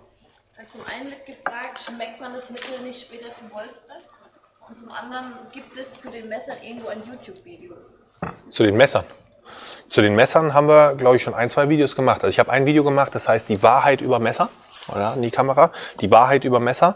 Da kläre ich eine halbe Stunde lang wirklich auf, auf die wichtigsten Punkte, die es gibt zum Thema Messerkauf, worauf man achten muss, weil es ganz andere Dinge sind, als man normalerweise so glaubt, beziehungsweise das meiste natürlich immer Marketing ist.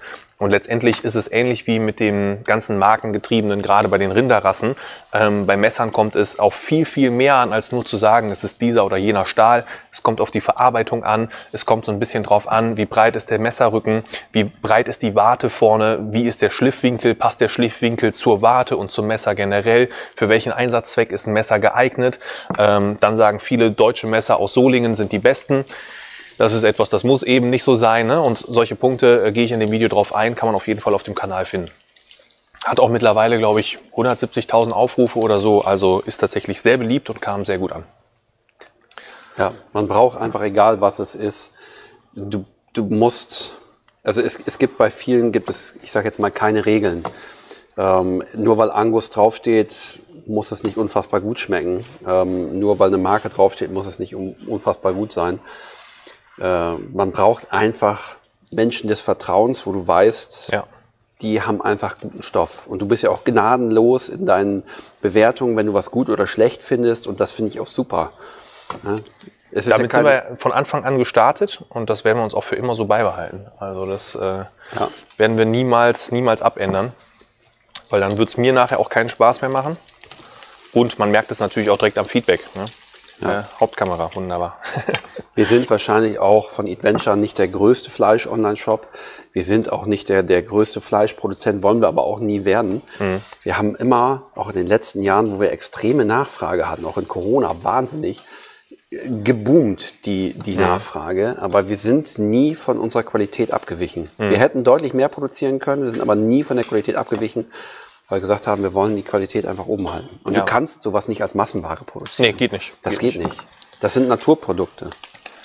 Da ist auch, wenn du eine gewisse Größe erreichen wollen würdest, müsstest du dann eben genau das, worauf du hier Wert legst, irgendwann halt vernachlässigen, sonst könntest du diese Größe gar nicht erreichen. Ja. Und das ist ja generell das Problem an der aktuellen äh, Massentierhaltung auch, damit wir halt unseren Fleischverzehr irgendwie irgendwie gedeckt bekommen, ist es leider notwendig. Deswegen ist es mit Sicherheit sinnvoller, manchmal lieber ein bisschen weniger, dafür besser zu essen. Aber das ist ein anderes Thema für heute nicht. Genau. So, heute lassen wir es uns gut gehen. Bacon wird langsam. Yes.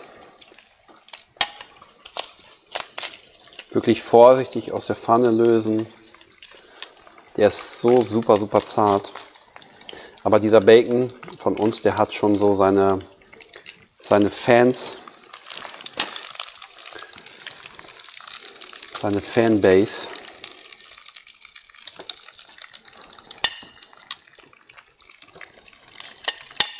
Das ist auch cool, wenn man halt sowas Geiles anbietet, braucht man nachher auch nicht mehr viel irgendwie machen, um irgendwie bekannt zu werden, sondern die Leute schreiben es halt überall hin. Ne? Ich merke das bei uns immer. Wir haben jetzt, äh, wobei sage ich jetzt nicht, damit ich hier keine Werbung mache, aber wir haben ein neues Produkt rausgebracht, in einem Video einfach vorgestellt, weil ich gesagt habe, der Hersteller selber macht es nicht. Ich fände es geil, wenn es das geben würde. Also machen wir das. Ja. Ein Video gemacht, das einfach nur erwähnt, dass es die Möglichkeit jetzt gibt für all die Leute, die das nachrüsten wollen. In jeder Facebook-Gruppe war das. In jeder Facebook-Gruppe wurde das geteilt. Alle haben darüber gesprochen. Ist komplett durch die Decke gegangen. Aber ist halt geil, wenn die Leute genau das auch cool finden, was man selber cool findet. Wenn man, wenn man gute Dinge tut, dann kommt alles andere von alleine. Ja. Das, wir haben mal eine Befragung gemacht hier im Werksverkauf. Also wir haben ja nicht nur online oder ich sag mal die, die Händlerstruktur Ja. deutschlandweit mit den Fachhändlern von uns, sondern wir haben ja hier vor Ort auch unseren Werksverkauf. Und ähm, da haben wir eine Befragung an der Kasse gemacht. Wir hatten da mal Radiowerbung gemacht, wir haben äh, regionale Social Media Werbung gemacht, verschiedene Dinge ausprobiert und haben eine Befragung an der Kasse gemacht. Wie sind Sie auf uns aufmerksam geworden? Wie, was hat Sie hierher getrieben? 96 Prozent der Leute haben angegeben, ich bin hier auf Empfehlung. In dem Moment haben wir gedacht, what the fuck, wir haben zigtausend Euros in irgendwie Regionalwerbung verpulvert. Ja. Aber ähm, die ganzen Leute kommen alle auf Empfehlung. Ja. Ist ja ganz, ganz klar, du wirst irgendwo eingeladen zum Grillen und ne, Ja. isst es dann und dann. Ja, klar. Wir haben eine Frage. Frage. Wie groß sind eure größten Schneidebretter und mit welchem Öl pflegt ihr die Bretter oder nutzt ihr was anderes als Öl? Ähm, also die, die wir jetzt anbieten, sind, glaube ich, momentan knapp 70 Zentimeter die größten. Das ist immer leicht unterschiedlich, weil das ja alles ein Naturprodukt ist. Ne? Wir haben immer unsere Naturkanten hier dran. Das heißt, ähm, das kann mal sich um bis zu 5 Zentimeter plus minus variieren. Und in der Breite her sind die, das hier ist jetzt relativ schmal, das hier ist so mittel. Manche sind wirklich nochmal bestimmt so ein Stück breiter, 10 Zentimeter zwischen 30 und 45 Zentimeter, würde ich sagen, in der Breite. Ähm, zum Pflegen, ja, man kann ein Holzöl nehmen, was äh, wirklich lebensmittelecht ist. Da gibt es mittlerweile einige. Oder man nimmt einfach ein gutes Pflanzenöl. Das mache ich in der Regel. Ja, Leinöl zum Beispiel. Leinöl ist halt gut, weil es nicht, äh, nicht ranzig wird. Ne? Genau, es härtet aus. Ne? Also so bei Pflanzenöl ist wichtig, dass es aushärtet, ne? dass es verharzt. Das ist wichtig. Kann man aber googeln, einmal Google bemühen, dann weiß man, welches Öl aushärtet, dann weiß man das. Muss halt Bitte? Eine Stunde. Ist rum, okay. crazy. Ja. So, dann Steak grillen. Ja, du kannst gerne schon das Steak grillen. Wunderbar. Leute, ihr auch, wir haben den Grill natürlich jetzt schon sehr, sehr, sehr lange Wir haben vorgeheizt. den Grill jetzt fast eine Stunde vorgeheizt, oder? Eine Dreiviertelstunde Nee. zumindest, ne? Oder wir hatten es ja ein bisschen verpeilt, also passt schon. Passt schon. Ja, ist die gut. erste Kohle schon bei den Kohlegrillern wieder äh, durchgeglüht? Ich hoffe nicht. So. Mich würde mal interessieren, wie viele überhaupt auf Kohle grillen. Also Ja. schreibt einfach mal, tut mir mal den Gefallen, wenn ihr auf Kohle grillt, schreibt mal das Wort Kohle in den Chat. Das würde mich echt mal interessieren. Auf Also wenn ihr, jetzt heiß. diese, wenn ihr jetzt diese Box äh, mit grillt und ihr grillt jetzt live mit Kohle mit, ne? nur dann Kohle schreiben, nicht wenn ihr sonst auf Kohle grillt. Sehr schön. So. Haben wir hier noch einen Tropfen Öl irgendwo? Wahrscheinlich nicht, Ja, ne? hier. Ja? Ja, da. Perfekt. Das ist Pflanzenöl. Perfekt. Dann gebe ich jetzt noch einen Tropfen Öl hier auf die Steaks. Ja, finde ich gut. Gerade das Kalb kann es vertragen. Genau.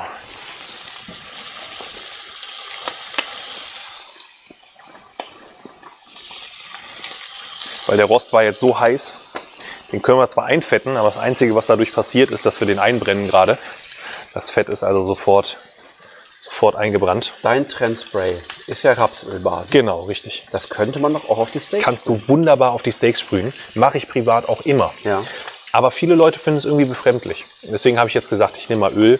Ähm, ne, weil wenn ich jetzt Fetttrennspray hier drauf sprühe, aber ich kann es jetzt einfach im Livestream ja auch mal zeigen. Ne? Weil ich habe es in Spanien öfter gesehen. Ja.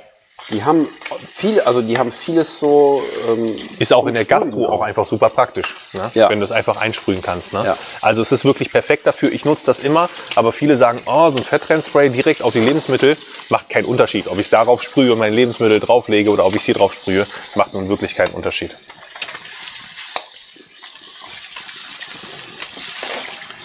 So, Bitte? schön andrücken.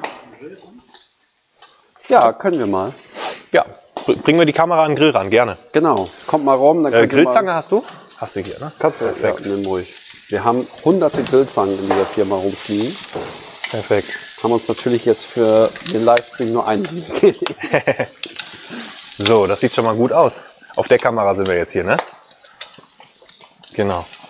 Immer schön das Fleisch an den Rost randrücken. Jetzt können wir auch schon das erste Mal jetzt drehen. Wir haben ja ordentlich vorgeheizt. Und dann sehen wir schon die ersten schön braunen Röstaromen. Nicht schwarz, sondern schön dunkelbraun. Hier sehen wir schon, das ist genau die Grenze. Ja? Also das ist perfekt. Mehr sollte es nicht sein. Aber weniger muss es auch nicht unbedingt sein. Aber wir drehen lieber einmal zu viel als zu wenig. Und wir können jetzt beim Angrillen gerne den Deckel auch auflassen. Genau, sieht man mich jetzt auch mit. Perfekt.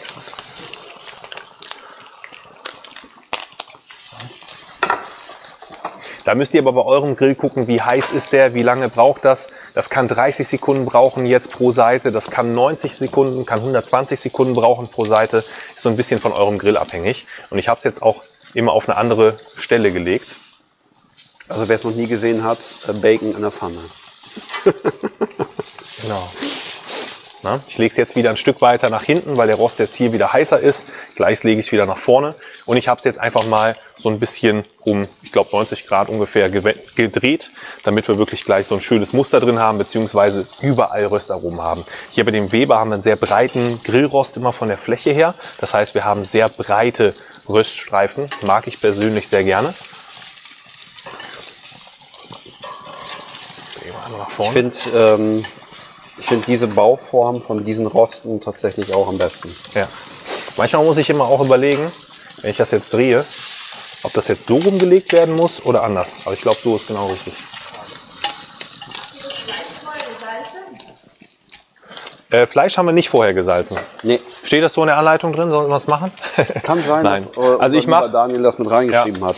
Also beim Thema Salzen gibt es bei mir letztendlich zwei Möglichkeiten. Entweder ich dry brine das Steak vorher oder ich salze es nachher. Vorher salzen mache ich in der Regel mittlerweile nicht mehr. Also wenn du, wenn du, ich finde, wenn du das kurz vorher einfach mit Salz bestreust Mhm. und du grillst es, gerade wenn es ein stark marmoriertes Stück ist, das schwitzt einfach ab. Hm, Wenn du es direkt kurz vorher machst, das kann gut sein, ja. Das schwitzt ab. Aber wenn du dry brinest, das ist natürlich was ganz anderes. Genau, richtig. Noch eine Frage, gerne. Klar, natürlich genau auf der Sizzle Zone muss man halt schneller sein. Funktioniert wunderbar auf der Sizzle Zone. Gerade das Kalb kannst du gut auf der Sizzle Zone machen, weil es sehr mager ist und natürlich wenig Fett dann halt reintropft. Korrekt. Ganz wenig Fettbrand. Ja, die Fragen wiederholen. Also, Sizzle Zone, geht das Kalb auch auf der Sizzle Zone? Absolut. Aber ein guter Hinweis, wir müssen die Fragen wiederholen. Wenn sowas ist oder ihr irgendwie nicht mitkommt, einfach nochmal reinschreiben in den Chat.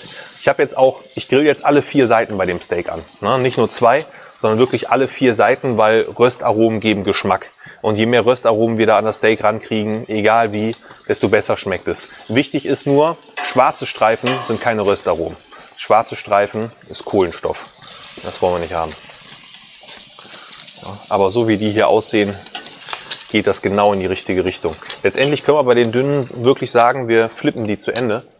Aber ich schaue mal eben mit dem Thermometer. Nicht, dass die beim Flippen zu trocken werden, weil die eben so mager sind. Welche Kerntemperatur machst du dir jetzt hier? Also ist vielleicht auch Ja, können Leute wir, interessant, genau, können wir gerne drüber reden. Also Ja. ich bin immer auch bei sowas lieber ein Freund davon zu sagen, okay, ich will noch so ein bisschen, ein bisschen Farbe innen drin haben, würde aber tatsächlich eher auf 60 Grad tatsächlich bei denen gehen. Wenn du aber sagst, du willst ihn drunter haben, können wir auch drunter machen. Ich würde sagen, drunter bei dem Kalb. Ja, okay. Wie, wie, ma- wie isst du deine Steaks? Ja gut, es gibt eigentlich keine Regel, welche Kerntemperatur. Ne? Ja. Das ist bei mir tagesformabhängig. Wenn ich mal, mal habe ich Bock auf eine höhere Kerntemperatur, mal habe Ja. ich Bock auf eine niedrigere. Aber es ist ja schon so, dass ich sag mal, einige Steaks, wenn die zum Beispiel wet aged, wet aged Steaks, Mhm. habe ich die Erfahrung gemacht, sind besser, wenn du die bei 56, 57 machst. Da sind die einfach zarter. Ja. Und wenn du Also dry sind jetzt hier aged bei 38,7. Ja, bei Wenn du dem so dünneren. Dry aged hast oder sehr lange am Knochen abgehangene Sachen, finde ich, dann ähm, ja, pendel ich mich meistens so zwischen 52 und 54 ein. Mhm. Und äh, weil wenn du jetzt so Sachen hast, die am Knochen wirklich sechs, sieben, acht Wochen abgehangen wurden und die machst du von der Temperatur einfach zu hoch, Ja. dann werden die auch zu trocken irgendwann. Ne? Ist das dry aged? Nein, das ist jetzt in diesem Wet Fall aged. wet aged, ja. Dann würde ich sagen, können wir da vielleicht auf 57 Grad gehen. ja. Ja. Wäre jetzt so mein. Ja. Wenn du sagst, du möchtest noch drunter, können wir auch drunter machen, aber finde 57 ich- wäre jetzt so mein Kompromiss, wo ich auch glaube, jetzt hier für zu Hause, sind wir auf der Kamera, auf der Hauptkamera, ähm, wo ich sagen würde, für zu Hause ist das auch ein sehr guter Kompromiss, wo wahrscheinlich die meisten mit zufrieden sein werden. Ne? Das Kalb macht halt in diesem Gang genau das, was es soll. Ich finde es geil, wenn du so einen knackigen Salat hast, wie jetzt Ja. hier, und dann in Kombination mit diesen schönen Fleischtranchen, diesem perfekten Dressing, und dann hast du so diesen fleischigen Biss auch mit. Und das ist halt auch so ein ganz zartes Fleisch. Mhm. Ja. Das macht genau das, was es soll. Es ist super schön zart und es baut sich sehr gut in diesen Salat ein. Ja. Na, da wird halt zum Beispiel so ein Hanging Tender oder sowas oder ein Skirt Steak, finde ich, gar nicht passen in so einem Caesar Salad. Nee, ein Skirt Steak, Hanging Tender, auch wenn Hanging Tender Tender im Namen hat, ist es äh, trotzdem, es hat deutlich mehr Biss. Ja, es sind schöne Steaks, also das will ich jetzt gar nicht in Absolut. Abrede stellen, aber Auch, auch halt- teilweise auch wegen dem Biss. Ne? Also dieser kernige Geschmack mit so ein bisschen mehr Biss, Ja. das äh, weiß ich schon sehr zu schätzen. ja. Wunderbar, Salat ist gleich fertig. Sie. Sehr schön. Bitte? Den Salat jetzt? Weil da war gerade Fleisch drauf, roh. Sonst äh, müssen wir die Kamera nochmal umpositionieren. Das müssen wir gleich erstmal wieder desinfizieren.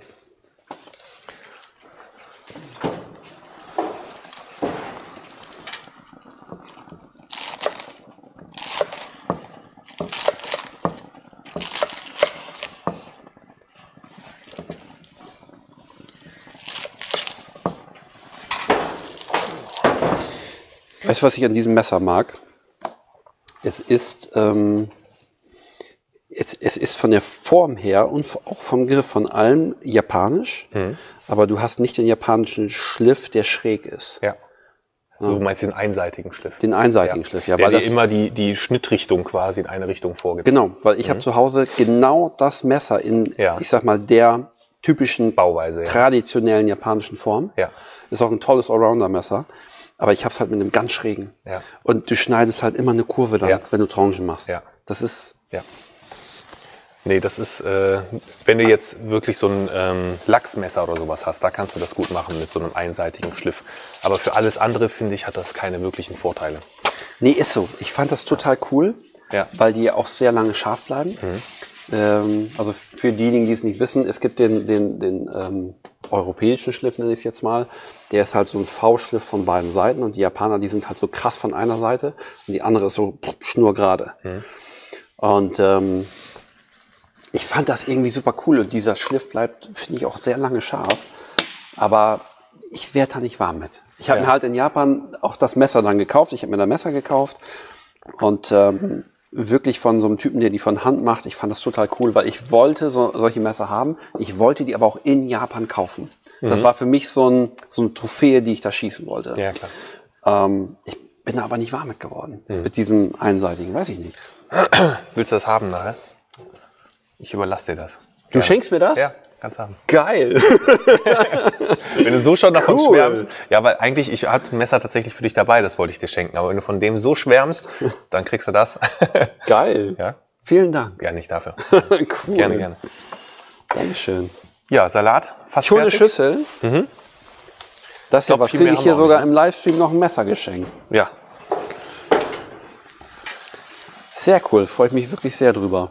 Weil ich habe, wie ich dir gerade sagte, genau dieses Messer halt zu Hause. nur halt mit diesem einseitigen Schliff. Und ähm, ich habe mir das Messer bewusst auch genau in der Größe und in der Form gekauft, weil es Ja. ist ein super Küchen-Allrounder. Absolut. Größe, da kannst du Ist so auch, nennen wir immer äh, Allrounder-Messer ne, oder Allzweckmesser, weil es wirklich für alles zu gebrauchen ist. und es hat auch einen vernünftig großen Griff. Ne? Ich habe Ja. große Hände und Ja. das passt halt super in die Hand rein. Ja. Ne? Ja, das ist schon Sehr gut. schön. Also Fleisch ist gleich soweit. Das eine ist jetzt schon bei 55 Grad, das andere ist jetzt gerade so bei 45. Das eine war ein bisschen dicker.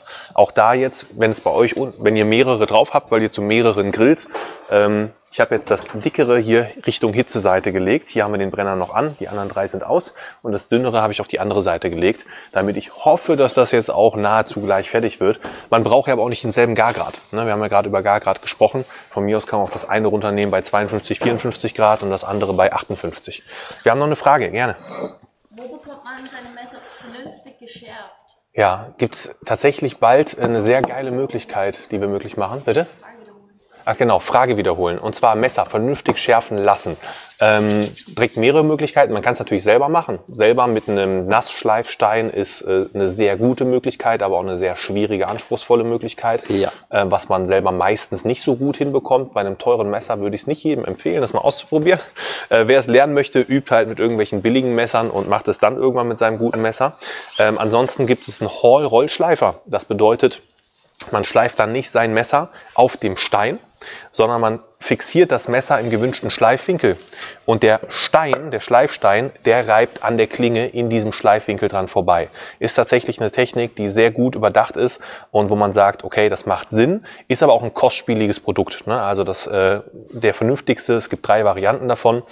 Die äh, Low-Budget-Variante ist tatsächlich nicht sinnvoll zu kaufen, die High-Budget-Variante auch überhaupt nicht sinnvoll zu kaufen. Und äh, das Produkt in der Mitte ist genau das, was man sich kaufen sollte, wenn man es haben will. Kostet mittlerweile allerdings 160 Euro in der Anschaffung. Klingt jetzt erstmal viel, Ja. aber es ist halt eine Diamantschleifscheibe mit dabei, die ist wechselbar. Es ist ein sehr hochwertiges Produkt, made in Germany und man hat wirklich lange was davon. Und wenn man sich jetzt überlegt, man hat wirklich sehr gute Messer und die kriegt man wirklich über Jahre hinweg immer wieder scharf geschliffen, sind diese 160 Euro sehr schnell rentiert. Weil, dritte Möglichkeit, sich das Messer gut schleifen zu lassen, wäre, ich gehe zu einem Schleifservice und da bieten wir bald mit der Messermanufaktur Solingen was an. Ist die letzte wasserkraftbetriebene Messermanufaktur, privat, klein. Die haben immer wieder mit Überschwemmungen von der Wupper zu kämpfen. Ist ein Museum mittlerweile, wo man das wirklich noch sehen kann, wie das früher gemacht wurde und wie die das dort heutzutage immer noch machen. Und mit denen bieten wir bald einen Schleifservice an. Das supportet die, weil die natürlich dann ein bisschen Geld verdienen können ähm, und sorgt dafür, dass ihr wirklich richtig perfekt nachgeschliffene Messer nachher habt. Das heißt, es wird immer vorher einmal geguckt bei euren Messern, egal wo ihr die gekauft habt, wie dick ist die Warte und dann wird es perfekt dafür mit dem Schleifwinkel angepasst und ihr habt wieder brutal scharfe Messer, möglichst lange. Jetzt höre ich auf zu quatschen, wir machen weiter. Ja, bitte? Ja, Und jemand will in die wie man es am besten auspresst. ja, das, Das kann hier? der David gut zeigen. Okay, ich komme rum vorne zu euch. Ähm, eine Sache noch zu den Messern. Mit sech, als ich 16 war, hat meine Schwester mir zu Weihnachten ein Messer geschenkt, so ein japanisches für 300 Euro. Oder ich weiß nicht, ob es noch Mark war.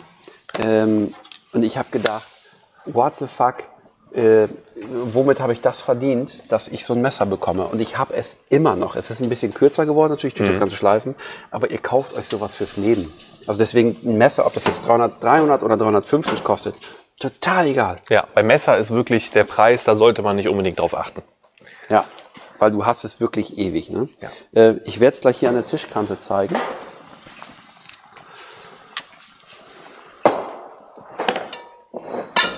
Nicht wundern für die Leute, die jetzt sich jetzt fragen, warum ich das nochmal hier auf die heiße Zone lege. Ich werde es jetzt einfach nochmal dort bei höherer Hitze die letzten drei Grad ziehen lassen und nochmal ein bisschen mehr Röstaromen ranbringen. Aufschneiden.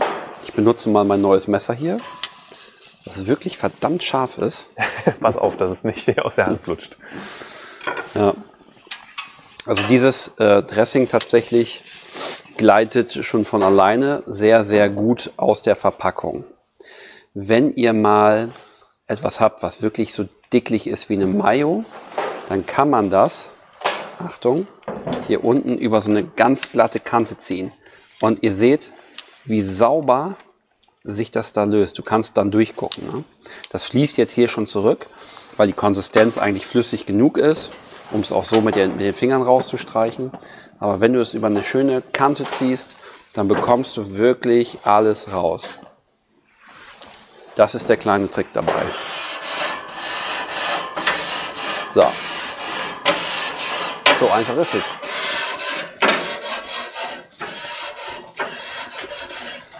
Weil gerade wenn du was hast, was so dicklich ist wie so eine Mayo oder eine Creme oder wenn man mal wirklich irgendwelche, ich sag mal, wenn man mal irgendwelche ähm, Pasten macht mit Erdnussbutter oder sowas, was wirklich pastös ist, was du mit dem Finger kaum rausgestrichen bekommst, dann ist es über die Kante ziehen natürlich sehr, sehr gut. Kannst du mir zwei Löffel geben, bitte? Natürlich, gerne. Dankeschön. Danke. Ich habe jetzt hier, also wir haben jetzt, wie viele Herzen waren das? Vier, ne? In einer Kochbox sind zwei Herzen drin. Genau. Ich habe jetzt vier gemacht. Also ihr müsst, guck mal mit dem Dressing, wir haben geguckt, dass wir solche Dinge ein bisschen überdosieren. Also lieber ein bisschen zu viel als zu wenig. Gebt da was rein, hebt das mal unter. Und also hier reicht jetzt äh, eine Dressing-Portion locker für auch vier Herzen. Ihr könnt das Dressing, das hält sich locker noch ein paar Tage. Könnt ihr natürlich auch in den nächsten Tagen da noch verwenden. Ach, guck mal hier, das reicht locker hier für, für die doppelte Portion. Ja, und dann könnt ihr den Salat einfach nochmal machen. Wunderbar. So. Salat, finde ich, sollte immer genauso groß geschnitten sein, dass der mit, mit einer Gabel, ohne dass man schneiden muss, aufgegabelt werden kann und gegessen werden Ja, kann. genau, in Das waren jetzt mundgerechte nicht, Stücke. Nicht, weil gerade wegen dem Dressing auch, wenn du jetzt so lange Salatblätter hast und schlabbert das und dann Ja. Sieht man aus, als hätte man drin gebadet. Genau. Ja, Fleisch dazu. Sonst haben wir, glaube ich, schon alles, ne? Salat, Yes. Dressing haben wir drin. Die Tomaten können wir noch klein schneiden. Vielleicht die Tomaten noch hal- halbieren. Ja. So kleine Cherry-Tomaten oder auch vierteln, wenn man möchte. Je nachdem, wie groß die auch sind, die man selber hat.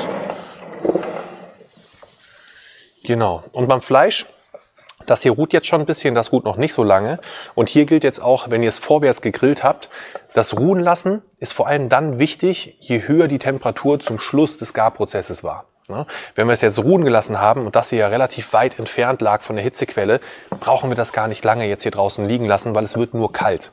Ein kleiner Trick, soll ich das schon mal spoilern, kommt bald ein Video auch zu, wie ich das äh, mache, wenn ich Steak ruhen lasse. Kernthermometer drin lassen. Gibt zwei Möglichkeiten. Entweder ihr habt jetzt ein Einstichthermometer wie wir heute oder ein kabelgebundenes, damit ist es noch leichter. Wenn ich das einfach nach dem Rausnehmen im Fleisch drin lasse, dann sehe ich, wie die Temperatur im Fleisch sich verändert. Wir sehen jetzt hier 57 Grad Celsius. Das ist das, was wir gerade eben auch gesagt haben, dass wir haben wollen. Und jetzt haben wir eben gesehen 57,2. Zumindest habe ich das gesehen, ihr wahrscheinlich nicht. Jetzt steht hier 57,1. Jetzt steht hier 56,9. Das heißt, das Fleisch kühlt langsam ab. Wenn das vorkommt, ja, also genau, film mal hier drauf. Ich kipp mal das Thermometer zu euch. Ja, so. Ja. Dann sieht man, die Temperatur im Fleisch sinkt. Und sobald die sinkt, wird das Fleisch nur noch kalt. Ja, wir wollen aber kein kaltes Fleisch haben.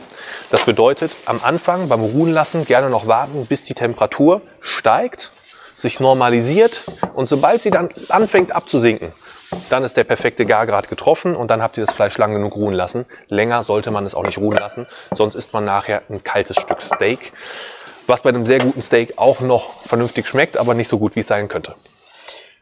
Ja, Zu den Messern nochmal. Du kannst ruhig schon tranchieren. ja, Ähm, will ich aber auch gleich noch was zu sagen. Ich erkläre ja immer gerne. Ah, okay. Die Leute, die heute im Livestream dabei sind, müssen sich dann einmal auch live mit anhören. Ich wollte nur noch mal sagen zu den Messern. Wir reden immer über gute Messer und Fleisch. Ja.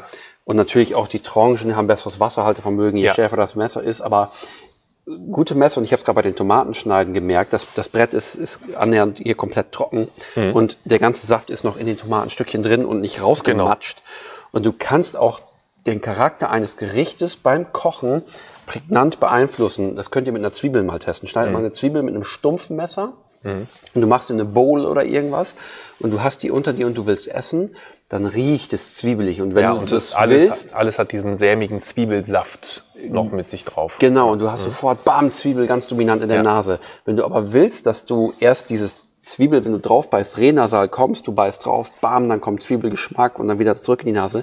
Rasierkling, scharfes Messer, die Zwiebel schneiden. Dann riecht das Gericht, so ein Salat, überhaupt nicht nach Zwiebel. Aber wenn du es dann isst und drauf beißt, Bam, dann kommt die Zwiebel. Ja. Dann hast du so ein bisschen mehr Absolut. Geschmack, also der scharfe so Messer aufbaut. machen in allerlei Hinsicht Spaß. In allerlei Hinsicht. Das Fleisch wird kalt, richtig. Ihr habt doch nur Hunger da hinten, das Fleisch genau. wird kalt. Beim Trangieren, ich bin immer ein Freund davon jetzt, weil auch hier verlaufen die Fleischfasern letztendlich in diese Richtung, diese nochmal zu durchtrennen, weil wir wollen ja dieses zarte Mundgefühl wirklich auch haben. Und dafür würde ich immer schräg mit dem Messer ansetzen und dann hier leicht schräg mir diese Tranchen von dem Steak relativ dünn, ja, also wirklich schön dünne Tranchen hier runterschneiden. Du hast die Faser auch gut getroffen. Ja, ne? Weil die dreht sich im Rumsteak so ein bisschen weg. Ja. Die Faser steht ja normalerweise wie meine Finger. Mhm. Du könntest ja eigentlich, ne, wie wir wissen, wie vielleicht viele von euch auch wissen, du könntest ja eigentlich schneiden, wie du willst. Aber die Faser ist nicht schnurgerade, sondern die ist leicht gedreht. Ne, und dann kommst du auf an, von welcher Seite du tranchierst, ob man jetzt mit der Faser oder gegen die Faser noch ist. Genau. Aber das ist jetzt, Leute, was wir jetzt hier machen, Das das, ist wirklich- Fleisch-Nerd-Talk auf Ja. ganz hohem Niveau. Ganz hoch. Schneidet einfach drauf los. Endstück hier gönne ich mir schon mal. Das ist auch aber eine Mini Red Heifer Burger. Die schmeckt mega, auch den Kindern und die Mayo auch. Ja, mega. Bitte?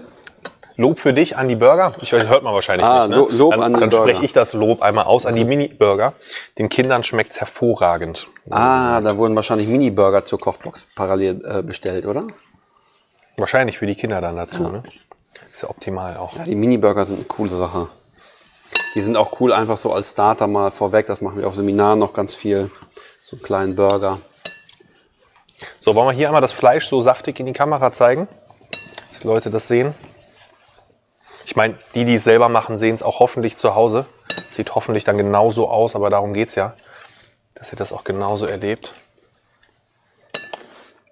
So was hier einmal. Dass wir das zeigen können. Der Gargrad. Hier liegen wir jetzt bei 52 bis 54 Grad Celsius. Na, so. Ich mach mal Tomaten auch direkt so ein bisschen mit ran.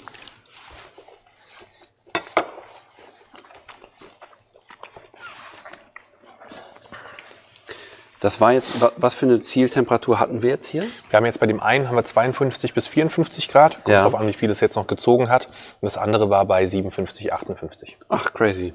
Genau. Eine Frage. Nee, eher eine Aussage. Ich glaube, Echt mal ein Erklärvideo zum Gehen die, gegen die Faser aufschneiden machen. Ich stehe da immer wie ein Ochs vorm Berg. Okay, also ein Video äh, zum gegen die Faser aufschneiden machen. Ja, müssen wir mal machen. Dann machen wir das. Ne? Wenn das gewünscht ist, wenn das gebraucht wird, machen wir das sehr gerne. Also so ein Video gegen die Faser aufschneiden kann dauern zwei Minuten. Kann. Kann. Kann aber auch, wenn man es richtig macht, bestimmt eine halbe Stunde und länger.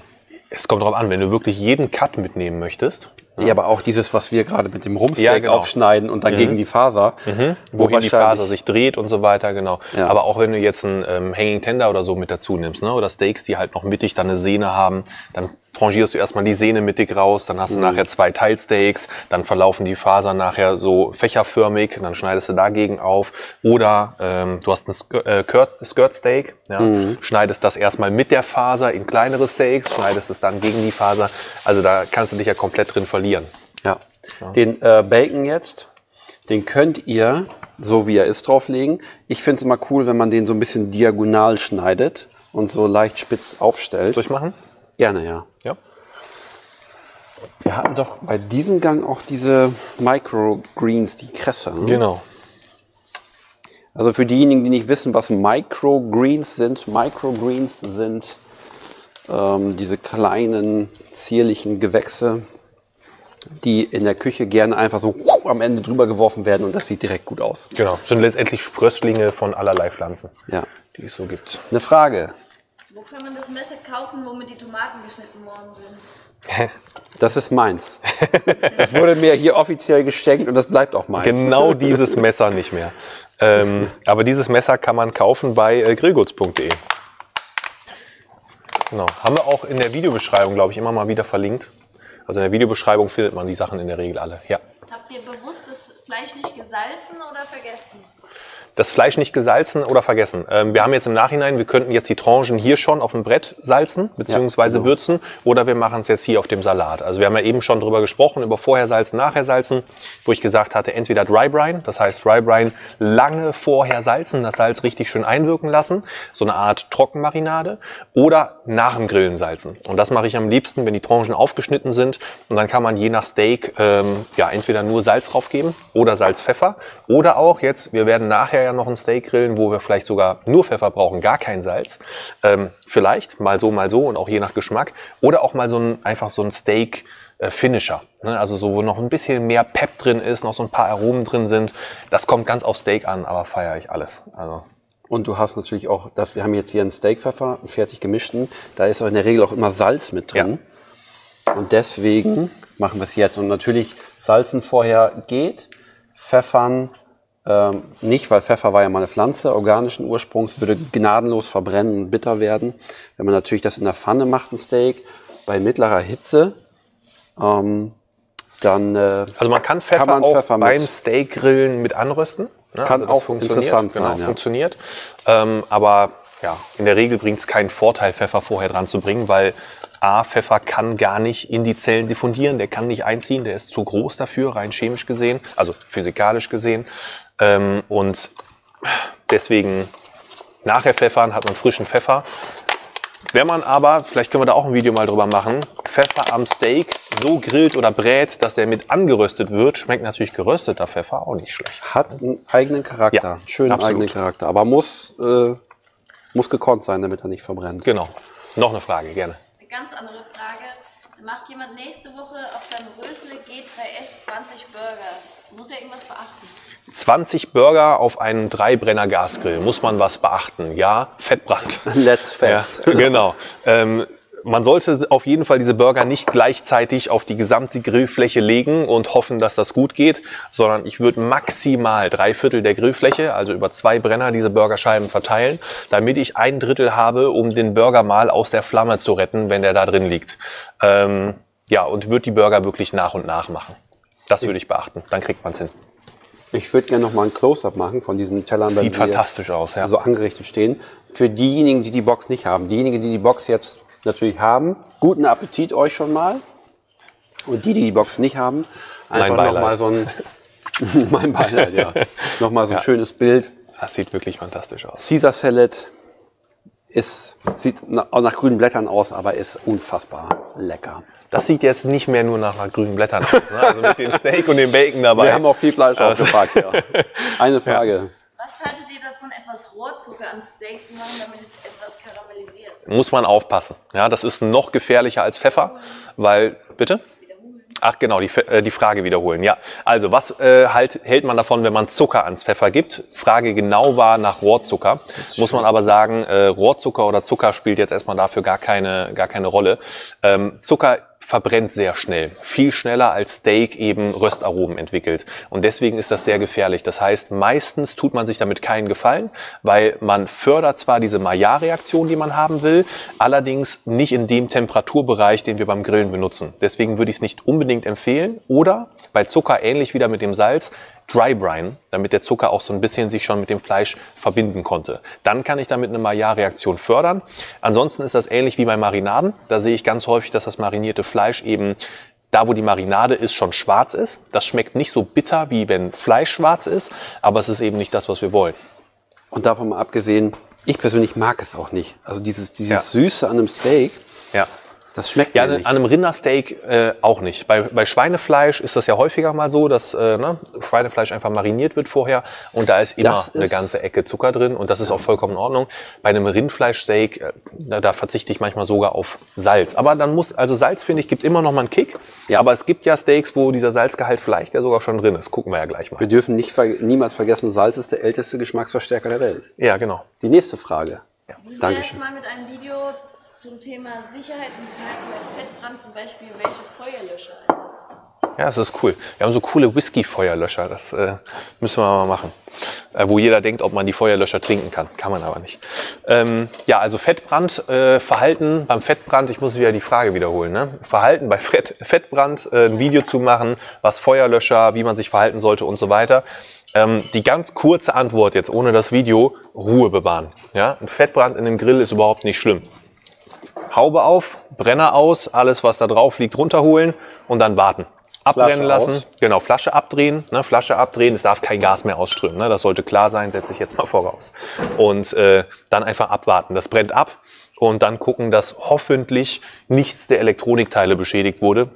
Das ist somit das, was am Grill passieren kann. Ansonsten funktioniert danach aber auch der Grill wunderbar. Gute Grills vertragen Fettbrand. Korrekt.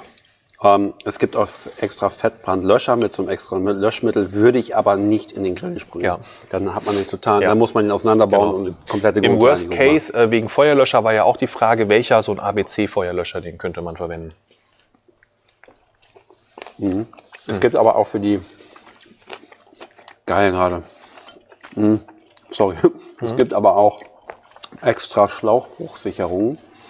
Die kosten, glaube ich, einen Zehner. Die kannst du mit an die Flasche machen und es gibt auch noch Druckminderer für die Flaschen. Und das, so zumindest eine kleine Schlauchbruchsicherung für einen Zehner, die wird an das Gasventil, was an der Flasche ist, zwischengeschaltet. Finde ich, muss dran sein. Ja. Wer dazu Fragen hat, wo man das bekommt, auch grillguts.de. Und da gibt es auch Schlauchbruchsicherungen mit Barometer und mit äh, Schlauch oder Druckminderer mit Schlauchbruchsicherung und Barometer, je nachdem, was ich gerade gesagt habe. Ja, nächste Frage. Habt ihr einen Tipp für die Smashburger mit eurer Hackbombe? Die Smash, also die Frage war, habt ihr einen Tipp für unsere Smash Burger mit der Hackbombe? Ähm, die Gefahr ist groß, dass ich jetzt einen zweistündigen Monolog starte über was für coole Dinge man damit machen kann. Mm. Es gibt die ganz einfache Sache, diese 360 Gramm Hackbombe, also zweimal 180. Ähm, du kannst entweder zwei Steakhouse-Burger draus machen, also 280 Gramm Patties, oder vier 90 Gramm Patties. Das heißt, du machst dann so einen Double Burger, zwei 90er übereinander. Und Und dann auch smashen am besten. Bei 90 smashen, genau bei 90 Gramm smashen. Die kannst du nicht medium machen. Aber willst du in dem Moment auch gar nicht. Du smash die und ähm, Salz, Menge pro Hackbombe, pro 360 Gramm Hackbombe machst du ungefähr einen Teelöffel. Nicht gehäuft, so einen schönen flachen Teelöffel. Pfeffer nach eigenem Gusto so ein bisschen rein. Oder die Gewürze, die man gerade geil findet. Und dann immer einen Ticken größer smashen, das Patty, als das Brötchen. Weil es zieht sich immer noch so ein bisschen zusammen. Weil Hackfleisch hat keine Bindung, wie ein Steak. Und es zieht sich immer noch so ein bisschen zusammen und damit es am Ende dann halt die Größe hat vom Brötchen. ne? Das sollte man beachten. Ein bisschen größer immer als das Brötchen smashen. Ja, beim Smashburger kann man auch einfach wirklich so fest wie es geht da drauf, dass der richtig, richtig dünn wird. So ein Smash Patty darf auch gerne mal so ein paar Löcher haben. Ja, das ist auch nicht schlimm. Das ist Wenn geil. so richtig, ja, genau, weil es richtig crunchy wird da. Ja, Wenn das Fett durch die Löcher blubbert. genau. Ja. Und dann doppelt Fleisch, doppelt Käse und du beißt da rein und dann zieht das solche Fäden. Wie schmeckt es dir? Sehr gut. So, dass ich gerade den Burger, über den wir reden, gar nicht vermisse. also wirklich fantastisch. Man muss ja, das sind die ersten zwei Gänge sind ja mehr oder weniger noch die Vorbereitung auf den Hauptgang gleich. Ne? Das sind so die Vorspeisen. Anderthalb Stunden. Ah, vollkommen. Also anderthalb Stunden sind wir jetzt vorbei. wunderbar. Und zwei Darf- Gänge haben wir schon. Darf so ein Abend auch gerne dauern. Ja, muss mindestens. Ja. Heute ein Video gemacht über ein Grillhähnchen-Rezept. Mm, Mega einfache Nummer, super schnell. Feedback bisher auch extrem positiv, aber ist in der Regel immer. ähm, nur der einzige Kritikpunkt war, warum so ein schnelles Rezept? Ich will beim Grillen doch wirklich Zeit haben. Und ich will doch lange grillen und lange am Grill stehen. Ne? Und äh, da war wirklich dann so ein ganzes Grillhähnchen in unter einer halben Stunde. Das hat getropft wie ein Kieslaster. Also das war wirklich ein saftiges Ergebnis. Saftiger geht es nicht in unter einer halben Stunde. Aber die einzige Kritik war, wir wollen mehr Zeit beim Grillen verbringen. Es ist ja aber auch eine Meditation. Hm? Ich bin auch ein Mensch, der im Winter unfassbar gerne grillt. Einfach draußen am warmen Grill stehen, am besten noch irgendwas smoken und einfach diese meditative Zeit genießen. Es ist eine Lebenseinstellung. Komplett. Ja. Ja, und was Soziales. Also für mich ist es was total Soziales. Also seit ich denken kann, bin ich selbstständig und meine Freizeit habe ich immer mit Grillabenden verbracht. Mit Freunden, Familie und Co. Geht mir genau. Und das, das verbinde ich einfach mit dem Grillen. Das macht es total emotional. Nächste Frage. Gerne etwas langsamer, hänge irgendwie hinterher. Mein Kalb zieht noch auf 56 Grad. Okay, dann quatschen wir ein bisschen. Dann äh, gerne mal Fragen in die Kommentare, in den Chat reinhauen. So viel wie geht. Fragen, Fragen, Fragen. Dann können wir ein bisschen quatschen, in Ruhe noch aufessen. Wir haben auch noch ziemlich viel Bacon. Könnten wir mal einen Burger zwischendurch machen. Oh nee, machen wir nachher dann, wenn die Kamera aus ist. Ja, So. ja stimmt. Tatsächlich Gerne. Ähm, Nochmal so hinter unserer YouTube-Ecke hier ähm, lagern unzählige Tonnen Danke, vom genau. geilsten Fleisch. Also vielleicht packt es uns ja hier gleich nach dem Video. Wir schalten noch mal einen Gang hoch. Wir werden auf jeden Fall was mitnehmen. Also mit leeren Händen gehen wir nicht nach Hause. noch Willst du noch was? Hast du noch? Ich habe noch Dankeschön. Danke. Wir können ja noch mal so ein paar Stories machen. Am Ende, also jetzt, wenn Ja. der Live-Stream vorbei ist, gehen wir noch mal ins ähm, Kühlhaus, Genau. gucken ein bisschen Fleisch. Und wenn ihr Bock habt, guckt einfach danach in eure und wahrscheinlich auch in unsere Story und dann könnt ihr uns auch so ein bisschen nach dem Livestream verfolgen. Die Show nach der Show. Die nächste Genau. Frage. Ist das Thema Alu-Druckgusswanne und Fettbrand eher ein Mythos oder kann der Filter bei einem Fettbrand tatsächlich etwas leiden? Naja, also bei einem Fettbrand können halt schon sehr hohe Temperaturen entstehen und die Hersteller sagen natürlich, bei so hohen Temperaturen können wir jetzt für unsere Garantie nicht mehr gewähren. Deswegen, äh, wenn dann nachher was passiert, kann so ein Hersteller gerne mal sagen, nee, Entschuldigung, mit Fettbrand und Co. Äh, verfällt die Garantie. Ist natürlich die Frage, ob, ob der Hersteller das erfährt, dass es da einen Fettbrand gab oder nicht. Äh, Und ansonsten hat man hoffentlich einen sehr guten Grilldealer seines Vertrauens, äh, bei dem man dann den Garantieanspruch irgendwie geltend machen kann. Und dann passt das schon. Aber dass da was bei einem Fettbrand kaputt geht, ich persönlich habe es noch nie bei irgendwem erlebt. Meistens ist es eher eine Panikreaktion, die dann dem Grill Schaden zufügt. Es gibt so ein paar lustige Videos, wo die Leute dann ihren brennenden Grill vom Balkon kicken. Und dann entstehen eher Folgeschäden. Aber ansonsten nicht. ja, 300 Euro Grill, bam, unten auf den Porsche geworfen. genau. Oh geil. Ich freue mich so, dass wir von dem Dressing noch was übrig behalten haben. Dann kann ich meine Frau Greta morgen glücklich machen. Ich mache ihr noch mal so einen schönen Salat. Ja, es ist wirklich ein gutes Dressing und passt auch wirklich hervorragend wieder zusammen. Aber auch wenn wir jetzt drei Gänge geplant haben und ich glaube, die meisten am Ende auch wirklich satt werden, ich könnte einfach noch mehr davon essen. So, das ist ähnlich wie mit dem Tatar. Ich will einfach, einfach weiter reinschaufeln. Die Evolution hat gemacht, dass wir ja auch unfassbar viel ähm, Fleisch essen können. Bis heute hat sich das ja gehalten in unserem Körper, dass wir uns ja auch drei Kilo oder sowas reindrücken können. Drei Kilo Steak. Sollen wir mal so ein. Ich, ich selber habe mal 1,8 Kilo gegessen, aber da war Ja. ich 16. Ja. Ich habe letztens irgendwo gehört, es gibt in Amerika irgendwie einen Laden, äh, da kriegst du kostenlos ein 1,5 Kilo Tomahawk Steak. Wenn du das in unter einer Stunde auf isst, habe ich gesagt, äh, würde ich immer kostenlos essen. Das- Wo ist das Problem? Äh, Challenge accepted, gar kein Thema. Aber dieses, dieses, was ich gerade sagte, die Evolution hat gemacht, dass wir bis heute viel Fleisch auf einmal essen können. Und du hast auch nicht so dieses komische Völlegefühl danach. Klar bist du extrem satt, aber es ist einfach, weil wir früher haben ja die Tiere gejagt in der Steppe, als wir noch Jäger und Sammler waren. Oder auch noch, ne, als dann irgendwann die Menschen sesshaft wurden und auch Fleisch gegessen haben. Die hatten keine Kühlung. Ja. Und das Fleisch musste binnen weniger Tage verzehrt werden. Es konnte nicht haltbar gemacht werden. Und es wurde einfach rein, rein, rein, rein. Ja. Und das hat sich bis heute, nicht so extrem natürlich, aber bis heute gehalten. Gut, der eine macht es extremer, der andere weniger. Das, Ja. ja. Unterscheiden sich die unterschiedlichen Jahresvarianten der Videro GPS deutlich voneinander? Oh, das kommt drauf an, über welche Jahresvarianten wir sprechen. Aber jetzt 2021, 22 und 23, nein. Die Frage vielleicht nochmal wiederholen und Ja, ach, genau. was? Ich, Genau, also die Frage nochmal wiederholen. Äh, Rösle Videro ähm, Reihe. der Rösle Videro, Genau, das Rösle Videro Reihe unterscheiden sich die einzelnen Jahresvarianten stark voneinander. Ähm, in den Baujahren 21, 22, 23 nicht. Davor ja. Genau. Aber ich glaube, keiner verkauft mehr einen Rösle Videro 2020 oder 2019. Und wenn als Gebrauchtgrill, würde ich mir den nicht unbedingt holen. Ja, nächste Frage. Welchen Grilldealer des Vertrauens empfehlt ihr denn so? Ja, Keine Gott. Ahnung. Fällt mir auch keiner Nee, das wissen wir nun wirklich nicht. Ja. Ja, sehr wahrscheinlich uns selber. Also neuerdings, also ihr verkauft ja relativ frisch. Ja, wir verkaufen alles, wo wir sagen, wir finden es halt geil. Ne? Also jede Marke von ähm, Napoleon, Breuking, auch Rösle ist mit dabei, ähm, Bull, Otto Wilde jetzt demnächst. Äh, in zwei, drei Tagen geht's damit los. Ähm, All Grill, Flammkraft. Äh, für Pizzaöfen, Alpha Pizza. Wir haben California Lynx mit im Programm, Monolith IQ Grills für Keramikgrills und so weiter und so fort. Also wirklich alles, was das Herz begehrt. Und tatsächlich, deswegen haben wir beide auch gelacht, Ja. ist es bei uns ja so, dass man neuerdings bei uns auch, beziehungsweise in den nächsten Tagen Grills kaufen kann.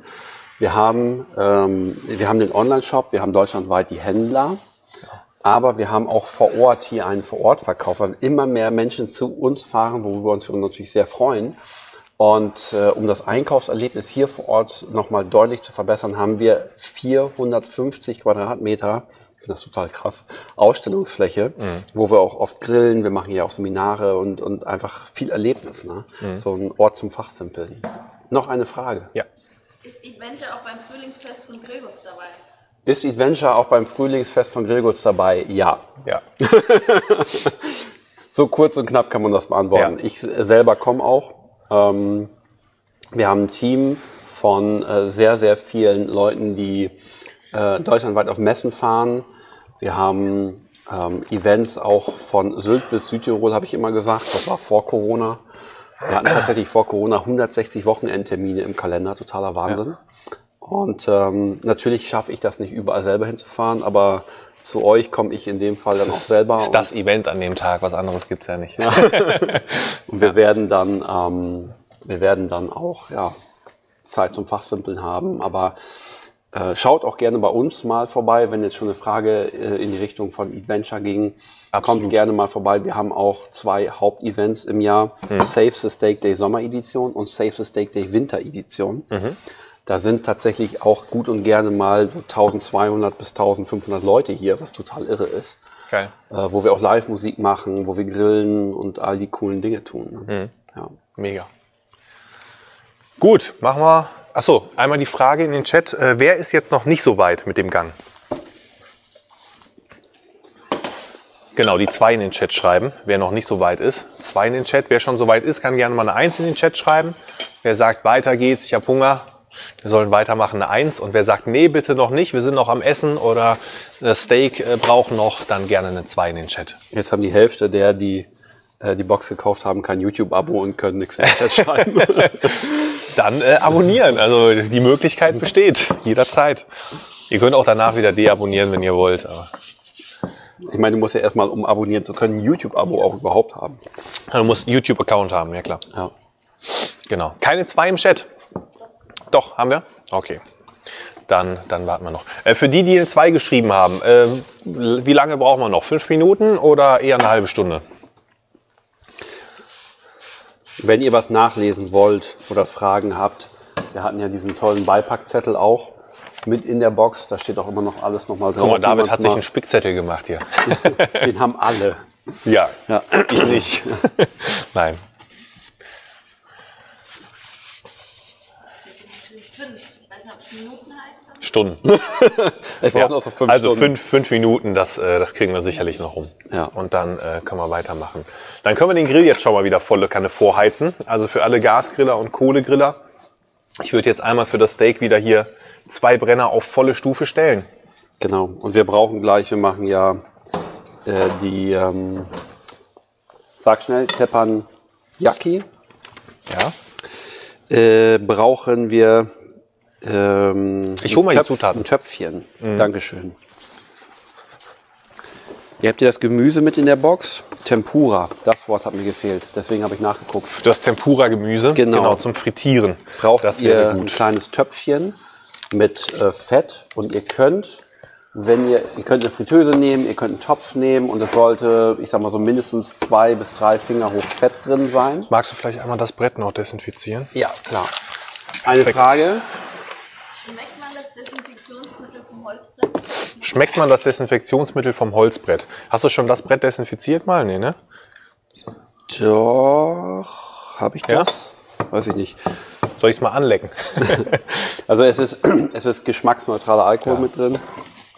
Der ist hochflüchtig, auch in einer extrem hohen Konzentration und der verdampft und verdunstet sofort, weil ja. Alkohol ist ja hochflüchtig. Ist auch nicht mal wirklich jetzt hier geruchlich irgendwie spürbar. Ne? Also ja, genau. da würde ich mir würde ich mir keine Gedanken machen. Und dem Geschmack ist es auf jeden Fall nicht abträglich. Also alles, was wir jetzt hier gerade gemacht haben, konnte man keinen Geschmacksunterschied feststellen. Man muss dazu sagen, viele Privathaushalte kaufen fertige Desinfektionsmixe. Mhm im, ähm, im normalen Handel, die haben oft irgendwelche Parfüme mit drin, Aromaten, mhm. damit es in irgendeiner Form besonders desinfektiös riecht oder besonders ja. reinlich oder das ist wie mit Shampoo, was extra extrem aufschäumt, einfach damit es besonders hochwertig wirkt.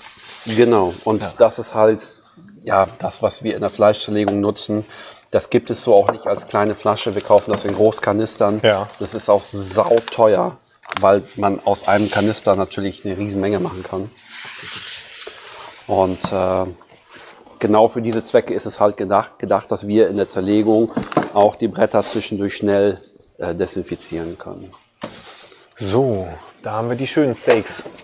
Die Hauptdarsteller für heute. Noch Wollen eine wir so Frage. in die Kamera halten? Ich habe einen Wunsch an dich, Joscha. Ja. Mehr Keramikvideos machen. Ja, kommt auf jeden Fall. Ich bin sowas von dabei, Keramikvideos zu äh, produzieren und auch mal zu machen. Es ist tatsächlich so, ein, so eine Frage der Zeit, äh, dass das einfach etwas länger immer braucht, so ein Keramikgrillvideo zu machen. Aber kommt auf jeden Fall, keine Sorge. Man sollte auch, wir, wir sprühen hier sehr viel Desinfektion und sowas rum. Äh, ich finde, das A und O ist auch immer, dass Holzbretter gut geölt sind. Ja. Das ist so wichtig. Vor allem auch, wenn die jetzt desinfiziert werden. Also das Erste, was ich zu Hause wieder machen werde, ist sie wieder neu einzuölen. ja. Wobei wir ähm, es ist schon seit Jahren mit der Desinfektion auf Holz arbeiten das geht wirklich sehr gut, muss ich sagen. Aber auch da natürlich schön dick abseifen ja. und ölen. Richtig satt ölen ist das A und O, finde ich. So, zeigen wir mal so ein Steak in die Kamera, dass wir mal sehen, was wir hier haben für die Leute, die vielleicht keine Box haben. Wobei ich glaube jetzt, die Leute, die jetzt noch zugucken, das sind die hartgesottenen, die auf jeden Fall auch so eine Box haben. Also das, wenn ich zu Hause Steak esse, dann ist es in meinem Steak-Alltag zu 90 Prozent dieses Steak. Ja. Das ist kann ich auch so mein so bestätigen. Favorite. Genau, haben wir es in der Kamera? Sehr schön. Ja. Also hier sehen wir das Steak. Auch mit einer sehr schönen Marmorierung. Wir haben hier beim Ribeye diesen Muskel hier. Das ist das Ribeye an sich. Und wir haben hier das Cap of Ribeye. Ja, umschließt das Ribeye. Und das ist tatsächlich so mein Lieblingspart von diesem Steak. Also für mich gibt es tatsächlich nichts, was so aromatisch und zart und saftig ist wie dieses Cap of Ribeye. Da kommt auch von, da habe ich schon lange so ein Video geplant, könnten wir vielleicht auf dem Keramikgrill dann auch machen, dass wir dieses Steak tatsächlich auf eine bestimmte Art und Weise einzeln grillen. Losgelöst von diesem gesamten Ribeye, wirklich Cap of Ribeye auf eine spezielle Art und Weise. Genial. So, was man auch machen kann, was ich tatsächlich auch schon oft gemacht habe, ist ein ganzes Ribeye am Stück. Und ja. dann die ganze Kappe, also dieses, das ja. ist ja, das ist ja nur eine genau. Scheibe aus einem ganzen Stück. Und dann ähm, tatsächlich dieses, dieses, die, ganz, die ganze Cap runtergenommen mhm. und das separat gemacht. Dann hast du ja wirklich so einen großen Lappen, ja. der wie eine DIN A4-Seite genau. groß ist. Das ist dann wie so ein Flanksteak, nur extrem zart. Ja. Das Flanksteak halt ein bisschen mehr Biss hat. Ja. Gibt's ja, wir machen mal ein Video. Vielleicht machen wir auch so drei Varianten, um das zu grillen. Aber ich hatte eigentlich mal vor, so ein Video zu machen, zu sagen, so, das ist wirklich der beste Steak Cut, den so gut wie keiner auf dem Schirm hat als einzelnes Steak, weil es wirklich so ist. Ja. Wir wurden oft gefragt, warum, warum kann man das nicht separat bei euch kaufen? Ja. Nur die Cap. Ja, kann ich dich auch fragen, warum nicht? Ich würde gern. Ja. es wird ein unfassbar teurer ja, Cut. Ja. Ja, weil. Leider. Ja. Man zerschneidet natürlich dann das ganze Ribeye und man muss wirklich auch mal sagen, das Ribeye hat sich als, als, als Handelsname wirklich so bekannt gemacht. Absolut, absolut. Und es wird gut gekauft. Und wenn wir jetzt wirklich nur die Cap abnehmen würden und wir hätten nur noch dieses Medaillon aus der Mitte, mhm. wie würde man das verkaufen? Das würde keiner würde, kaufen. Würde kaum einer kaufen. Weil der, weil der Name halt, unbekannt ist. Ja, könntest du es noch als Rumsteak vermarkten. Ne? Das würde, würde der ein oder andere. Würde der Fettdeckel das fehlen. Ja, wobei, wenn du das hier mitnimmst, würde der ein oder andere da vielleicht nochmal ein Auge zudrücken. Ich finde den Cut, der dann entsteht, dieses Medaillon Ja. aus der Mitte, darf ich nochmal? Ja, klar. Ähm, wir haben ja hier diese, diese Cap drumherum und dann dieses Medaillon in der Mitte. Das wären geile Medaillons. Ja. Das ist ein super Stück auch. Ich finde also Ja. als Zuschnitt total toll und sinnhaft. Ja. Aber es hat keinen Handelsnamen und, Ja. und, und würde schwierig abverkauft Wäre sogar auch werden. noch viel aromatischer als ein Filet-Medaillon. Ja. Also ich ich mache es zu Hause tatsächlich oft so, Ja? dass ich mir das so zerlege. Also ich mache es meistens auch, wenn ich ein Ribeye Steak esse und ich trangiere mir das nachher dann halt, dann trenne ich die einzelnen Muskeln ineinander auf. Ja. Das mache ich meistens so. Okay, eine Frage und dann legen wir los. Welches Desinfektionsmittel nutzt ihr da? Gibt es einen Hersteller? Da gibt es einen Hersteller. Ja, hatten wir eben schon gesagt. Äh, Desinfektionsmittel, welcher Hersteller, dass das wirklich so für äh, große Industriebetriebe eigentlich große abgefüllte Mengen sind.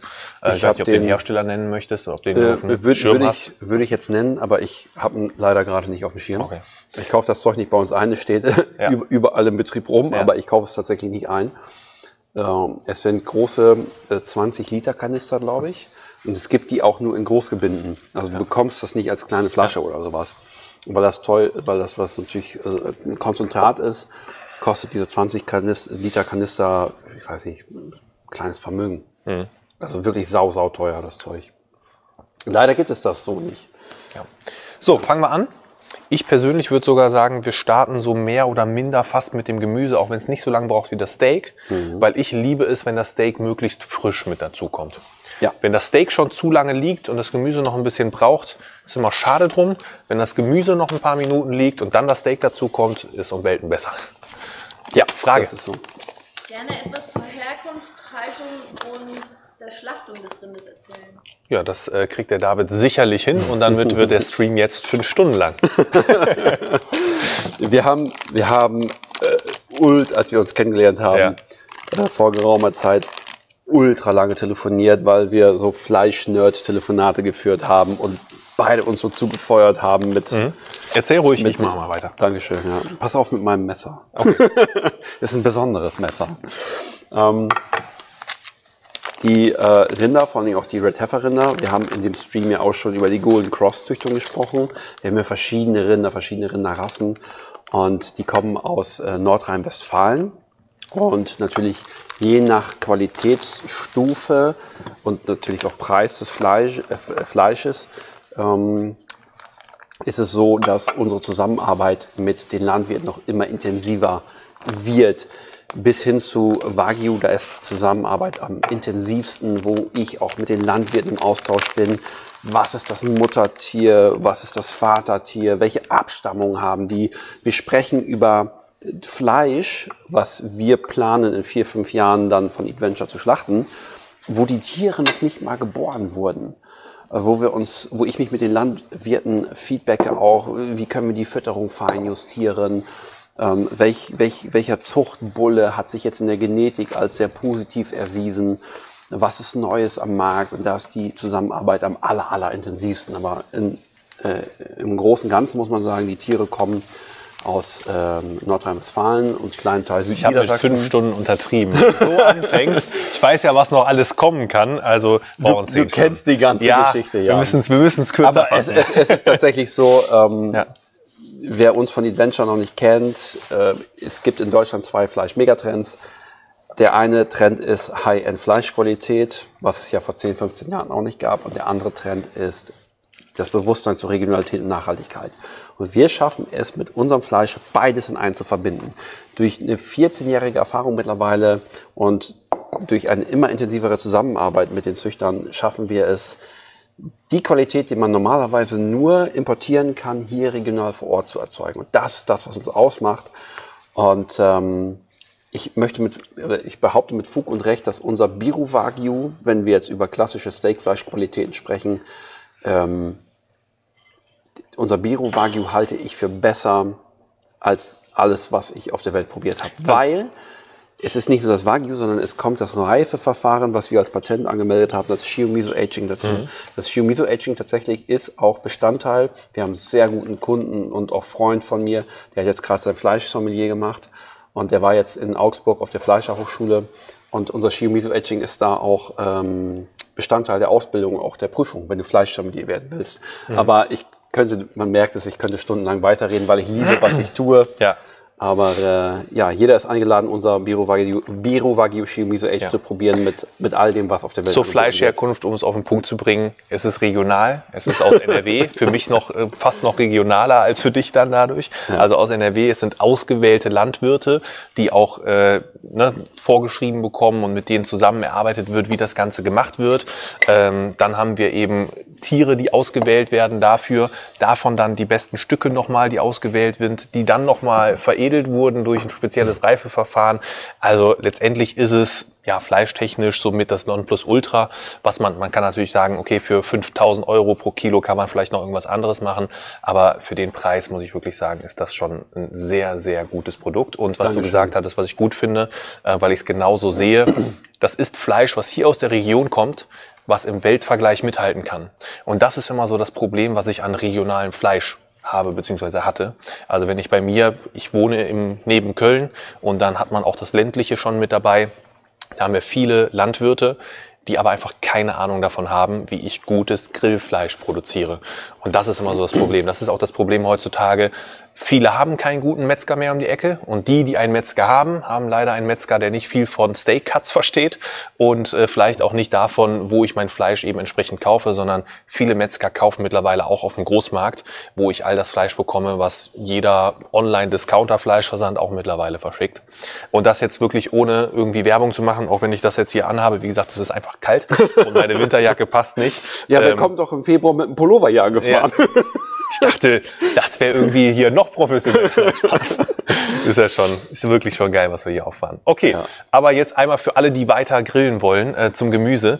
Wir werden es jetzt einmal melieren. Willst du es vorher ein bisschen trocken tupfen oder nehmen wir die Feuchtigkeit vom Gemüse, um das Mehl da dran haften wir, zu lassen? Wir nehmen, wir nehmen das mit auf, weil ich glaube, es ist ähm, etwas angemacht, ne? aber wir lassen okay. das auch so feucht. Mhm. mhm. Ähm, ich glaube, Daniel hat das sogar ein bisschen angemacht für uns mhm. alle. Ähm, Daniel macht auch oft, also für diejenigen, die es am Anfang nicht mitbekommen haben, Daniel ist ähm, bei uns äh, Store Manager, Event Manager und macht auch die Seminare. 20 Jahre lang Koch, äh, auf der halben Welt gekocht und wir haben unsere Ideen zur Kochbox mit ihm gefeedbackt und er hat das hier alles umgesetzt, brillanterweise für uns. Und ähm, dieses Tempura macht er auch in den Seminaren und wir haben es auch in einigen Videos bei uns auf dem Kanal schon oft gemacht. Mhm. Und das ist wirklich immer besser geworden im Laufe der Zeit. Das ist eine richtig, richtig geile Beilage zum Steak, zum Steak finde ich auch. Mhm. Das stimmt. Ähm, wie viele Leute haben wir eigentlich jetzt schon im Stream so verschreckt? Wie viele Leute haben schon abgeschaltet? Wie viele sind wir noch? Wer ist der harte Kern? Gleichzeitige Zuschauer 200. Echt immer noch 200? Okay, dann sind das wahrscheinlich wirklich so die harten Konstant, konstant ja, gehalten. Die äh, hier mitmachen das nächste Mal eine. Ja? Echt noch auch einige ohne Box. Also viele gucken so doppelt mit äh, Family und Freunden und Co. Ja. Sehr cool. Ja, wenn wir viele Viererboxen verkauft ja, haben genau, im Durchschnitt, ja, einige zwei, andere sechs, aber viele Vierer. Ja, vielleicht haben sich auch manche im Nachhinein noch zusammengetan oder so. Bestimmt auch. Willst du das Mehl reinkippen oder das Gemüse? Ich überlege gerade.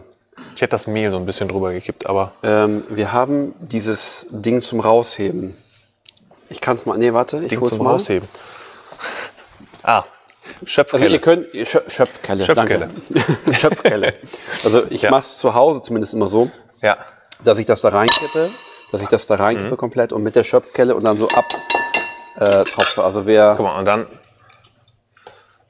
müsst ihr zu Hause einmal komplett den Geschirrschrank plündern, damit ihr drei Schüsseln sogar habt. Oder ihr kippt das Gemüse direkt in die eine Schüssel, wo ein bisschen Mehl drin ist. Also ganz normales haushaltsübliches Mehl, Backmehl. Ich mach's ähm, so, wie ich es zu Hause einfach mache. Einfach rein. Einfach, einfach rein. rein. Authentisch hier, so wie du es zu Hause machst. Einfach rein. Genau, Finger benutzen, ablecken, wieder rein. ja. genau. Aber ihr könnt natürlich auch das jetzt mit den, mit den Händen so unterheben. Ne? Ich ja. mache es jetzt nicht, dann hätte ich das alles versaut. Ihr könnt es mit den Händen so unterheben und macht euch das dann durch ein grobes Sieb oder irgendetwas in der Art. So. Die Gasflasche hier vorher war voll Moment. wahrscheinlich, oder? Da haben wir genug. Das ist Tempura-Mehl für nachher. Oder? Haben wir jetzt einen Fehler gemacht? Ach nö. Haben wir einen Fehler gemacht? Ja, das lieber nochmal nachlesen. Okay, oh, nach. Wir waren, so, wir waren so im Redeflow. Wir waren so im Redeflow die ganze Zeit und haben die ganze Zeit gequasselt ja. und jetzt, ach, lass mal weiter kochen und bam rein. Aber wir checken das. Gemüse in Mehl Ribeye, blabla anbraten und das Steak. Das machen wir ein bisschen später. Gemüse in Mehl wälzen und danach gut abschütteln. Ja, und dann Tempura-Mehl mit kaltem. Nee, ist alles richtig. Okay. Alles richtig gemacht. Ganz in Ruhe. Okay. Genau. Weil das ist ja hier Mehl. Ne? Genau.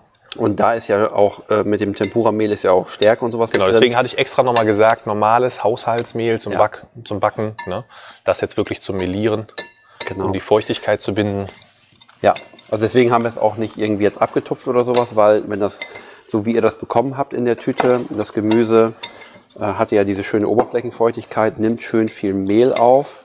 Und der Vorteil ist dann einfach, dass ihr wirklich viel, ich lasse es jetzt auch kurz hier im Mehl noch so stehen, dass ihr wirklich viel Mehl dann dran habt. Denn wenn ihr das dann gleich alles in den dicken Tempura-Teig, den wir hier als nächstes machen, tunkt, dann habt ihr richtig eine schöne dicke Tempura-Masse auf dem Gemüse drauf. Und das ist das, was man ja auch möchte, dass man richtig diesen Crunch hat. Und ich würde auch empfehlen, das äh, doppelt zu frittieren. Also wenn ihr die Möglichkeit habt, mit ähm, einem Topf, Joscha stellt gerade das Öl schon mal auf den äh, Seitenkocher hier. Wir haben einen kleinen Dutch Ofen bei uns genommen, da ist jetzt so drei Finger hoch Fett drin.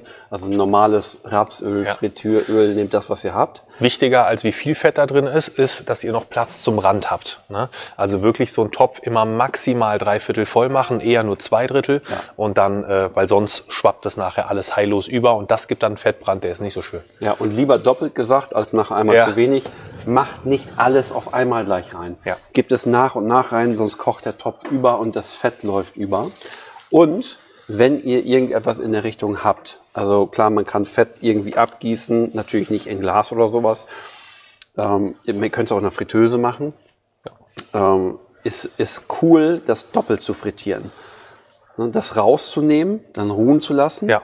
Dann Ähnlich wie mit Pommes. dann dünstet das Wasser aus dem Gemüse nach, zieht in die Tempura-Teigpanade. Das gleiche gilt ja auch für Hähnchen, wenn du so Panaden um Hähnchen machst.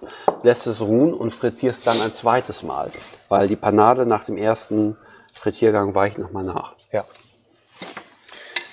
So, Wunderbar. Dann Sprudelwasser und Tempura-Mehl anmixen. ja, ich habe hier den Spickzettel. Also lieber, lieber einmal mehr drauf gucken als zu wenig. Genau, also Tempura-Mehl mit kaltem, am besten Sprudelwasser zu einem dickflüssigen Teig anrühren. Eine Frage. Napoleon die Sizzlezone auch als Kochplatte für Pfanne oder den Topf nutzen? Yep, kannst du machen. Ähm, dafür, wenn du was für eine, oder ich muss die Frage wiederholen, ne? kann ich eine Sizzle Zone auch benutzen, um da den Topf draufzustellen oder eine Pfanne? Ja, kann ich machen. Ähm, wenn die Sizzle Zone einen höhenverstellbaren Rost hat, dann würde ich den eine Stufe hochstellen. Und dann muss man eben gucken, wie gut die Hitzeübertragung ist. Man kann ja auch so eine Sizzle Zone also Keramikbrenner, jeder Hersteller nennt das anders. Steak Zone, Sizzle Zone, Prime Zone, Sear Zone, wie auch immer. Ähm, kann ich dann ja auch regulieren. Das heißt, ich kann die ein bisschen runterstellen, ein bisschen hochstellen. Wichtig ist jetzt hier beim Frittieren, dass wir nachher so 170 bis 180 Grad haben wollen. Das kann man mit einem Kerntemperaturmesser, also Kerntemperaturthermometer einmal nachmessen. Deswegen habe ich es gerade geholt. Die sind in der Regel ja bis 300 Grad Genau, richtig. meistens.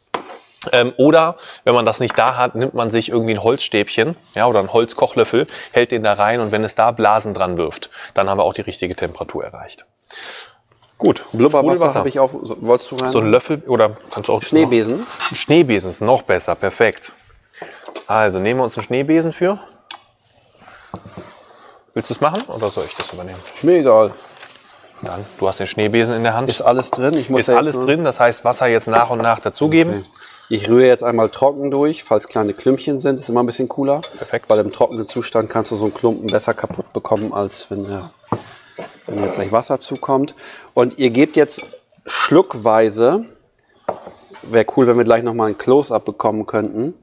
Ihr gebt das schluckweise rein und versucht dann daraus eine, mach mal am besten Close-Up, das muss ich zeigen, wie die Konsistenz sein soll.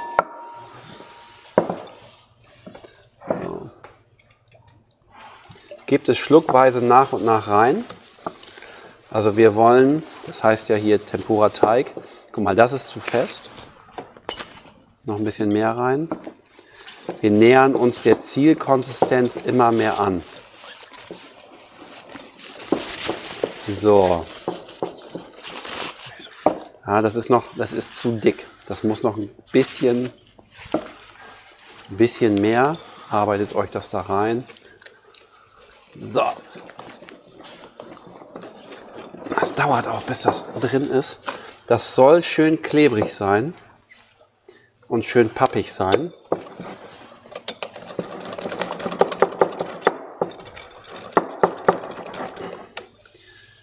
Ah. Wenn man einmal zu viel Wasser drin hat, ist es zu viel. Also falls euch das passiert, dass euch das zu dünnflüssig wird, könnt ihr das mit ein bisschen Stärke, Mais oder Kartoffelstärke oder aber auch Mehl wieder ein bisschen dicker äh, machen. Ne? Aber ich glaube, das ist schon so ganz cool. Ja, das darf nicht, nicht noch dünner sein. Es soll so leicht fließen. Ne? Deswegen, wenn wir gleich das dann hier reinmachen, ich nehme mal hier sowas, dann soll das wirklich auch so dick drumherum liegen. Also wie so ein Kleber auch dran sein. So. Wenn ihr habt, nehmt euch gleich eine Fleischpinzette oder eine ähm, oder Holzstäbchen. Dann kann man nämlich das äh, Gemüse da rein machen in den Tempura-Teig und kann das dann schön da rausheben. Aber das machen wir gleich hier vorne. Wir holen euch dann rum, wenn das Fett heiß ist. Das Fett ist, oh, muss noch heiß werden. Genau. So, Teriyaki-Glasur brauchen wir gleich für Steak. Ansonsten haben wir das Gemüse. Und damit haben wir alles. Ne? Soweit vorbereitet, dass wir uns ums Fleisch kümmern können. Sie. Sehr schön. Mein Lieblingspart.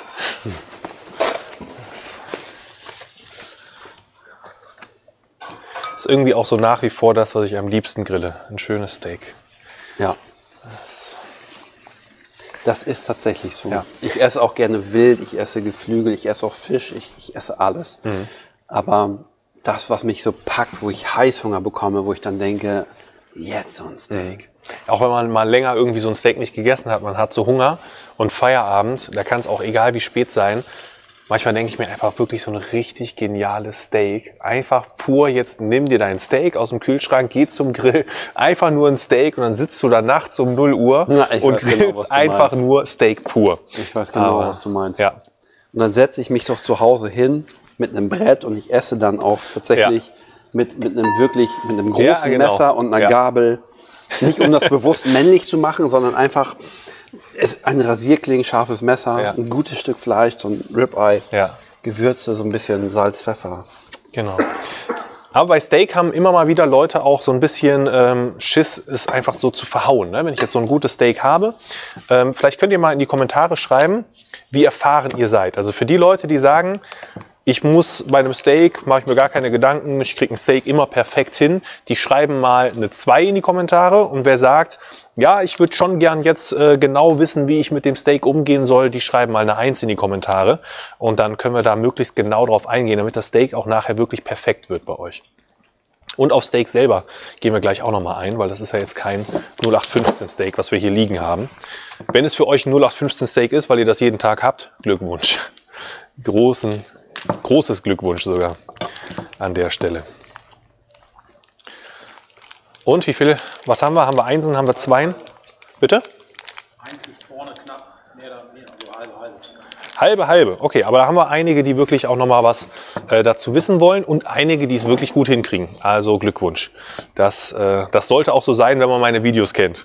Und Bitte? Eine 2 dank Joshua. Perfekt. Eine 2 dank mir. Ja, also viele Leute schreiben eine 2, manche Leute schreiben auch noch eine 1. Ähm, ich glaube, die 2 liegen ganz knapp vorne, ne? Ja, jetzt die 1. Oder jetzt die Einsen. Okay, gut. Also dann mehr meiner Videos gucken. dann klappt das auch mit dem guten Steak. Aber du kannst vielleicht in der Zwischenzeit was kurz zum Steak erzählen, was das jetzt hier genau ist. Ja, ich war, wer mich gerade vermisst hat im Bild, ich habe Holzstäbchen gesucht. Ich koche zu Hause tatsächlich viel auch mit Stäbchen, Ja. ähm, weil sich das so pinzettenförmig oft anbietet, weil wenn du jetzt mit einem großen Löffel da reingehst, hebst du ja den ganzen Tempura-Teig mit in das Frittierfett. Kannst du mir einen Zeber geben? Gerne. Eine Küchenrolle. Ich sag immer Zeber. Ja. Ähm, und äh, Ja, zum Fleisch sagtest du, wir haben jetzt hier eins meiner Lieblingssteaks und ich glaube auch, wie du vorhin sagtest, eins deiner Lieblingssteaks. Mhm. Ganz einfach, weil ich finde, dieses Steak hat eine richtig, richtig geile Preis-Leistung. Mhm. Klar sprechen wir nicht über Preise wie im Discounter. Discounter, keine Frage. Aber im gehobenen Fleischbereich eine geile Preis-Leistung, finde ich einfach ein super Stück. Wir haben eine coole Marmorierung, eine gute Marmorierung. Wir haben viel guten Fleischgeschmack und äh, es ist Shiomiso aged und Red Heifer ist sowieso absolut Topseller hm. bei uns. Was ich gerade gemacht habe, macht das mal. Nehmt euch irgendwo eine Ecke, wo ihr so ein bisschen Fleisch habt und schneidet mal wirklich so eine ganz dünne Tranche einfach mal runter. Und diese dünne Tranche wirklich einfach mal probieren. Hm. Willst du auch? Mm, gerne. Hier ein bisschen Fett. Genau, können wir auch in die Kamera einmal reinschneiden.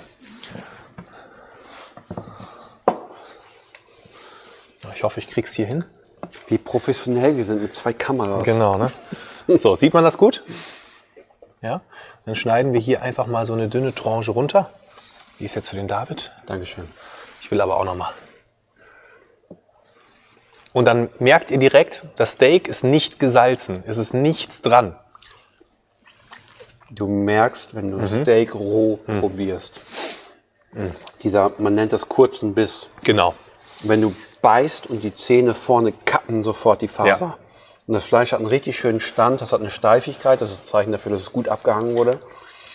Und aber es hat auch jetzt schon einen wunderbaren Schmelz so im Mund. Ne? Also es war jetzt Cap of Ribeye, was wir abgeschnitten haben, ist natürlich auch das beste Stück davon, aber es ist wirklich jetzt schon mal fantastisch und man schmeckt jetzt schon, dass es eigentlich gar nicht viel Salz braucht. Und da ist jetzt auch das Thema Steak vorher salzen. Das kann ich jetzt noch gar nicht abschätzen, ob ich es salzen muss, wie stark ich es salzen muss. Und deswegen mache ich das mittlerweile eigentlich auch so gut wie gar nicht mehr. Oder mitunter deswegen. Fett hat jetzt 125 Grad bei uns. Bisschen brauchst noch. Ich habe gerade das Fett gemessen. Ja, obwohl es ist jetzt schnell hochgegangen. Wir okay. haben ja gerade mhm. erst den Brenner vor ein paar Minuten angemacht. Ja. Und ähm, dann können wir das Steak auch gleich langsam mal auflegen. Ja. So, so. Ähm, Fett einpendeln bei euch im Stream zu Hause 170 Grad plus minus 10. Genau. Wenn ihr da irgendwo landet, seid ihr immer gut dabei. Wunderbar. Grill muss jetzt volle Pulle vorgeheizt sein. Das Fleisch minimal einfetten, damit wir es jetzt schön angrillen können. Oder sollen wir es rückwärts machen, oder vorwärts? Machen wir es vorwärts, oder? Ja, machen wir vorwärts. Ja, Sonst dauert es zu lange. Der, der, Grill, der hat jetzt schon so viel Genau, Bums. richtig. Ne? Ich glaube, Sonst vorwärts ist auch einfacher. Genau, ein bisschen einfetten. Ich nehme jetzt hier auch mein Fettrennspray. Wenn ihr das habt, könnt ihr das auch machen. Ist tatsächlich nichts anderes als Pflanzenfett von beiden Seiten. Und dann darf es auf den Grill. Wollen wir das äh, mitnehmen? Nebenkamera? Genau, da kann man es wunderbar sehen. Ah, ich kann es auch sehen. Sehr schön, hat man gut gesehen. Dann würde ich sagen, kommt die Nebenkamera jetzt mit an den Grill und wir legen das Steak einmal auf den Grill drauf. Wenn man zu Hause einen scharfen Schnaps hat, der nicht schmeckt, dann kann man auch das Spray vorher in den Mund und dann. so. Warte kurz, dann kommt Hermann genau. mit der Kamera.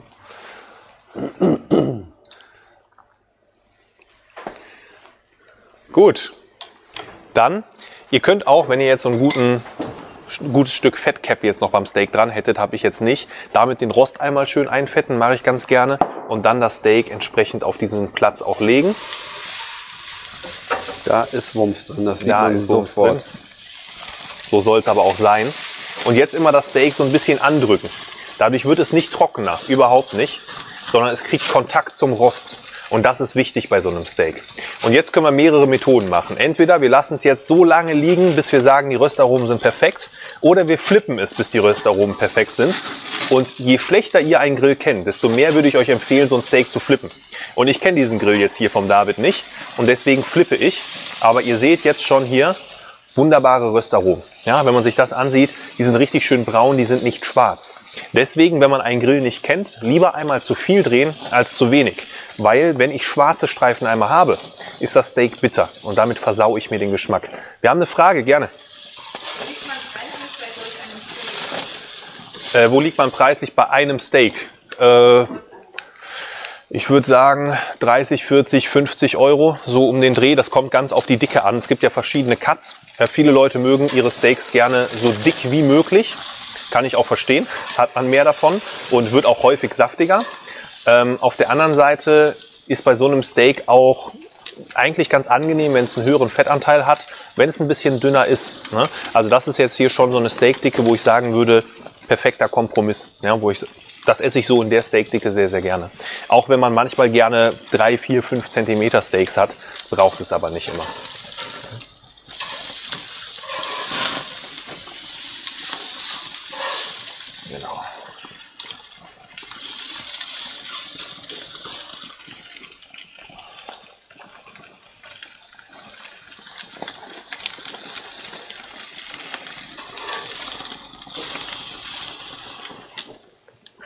Mal hier parallel noch mal nach dem Öl. So, dann bin Ach, ich wieder. David ist wieder da. Ich habe, äh, wir haben da hinten Equipment, um jetzt sofort 5000 Leute zu begrillen. So, Öl Aber ist ich, Temperatur. Ich finde die Stäbchen nicht. Ich Solltest loslegen, sonst wird das Öl gleich zu heiß. Ja? Ja. Ich habe mir jetzt sowas besorgt. Das sind Fleischspieße. Weil ich genau das hier machen möchte einfach. Das ist schön, weil wenn ihr jetzt sowas Dünnes habt, ne, nehmt euch eine dünne Zange oder sowas, aber ich finde es halt gut, dann kann man so flippen und es bleibt nicht viel zurück. Wenn man das gleich plumpsen lässt in das Fett. Ne? Deswegen wollte ich sowas haben.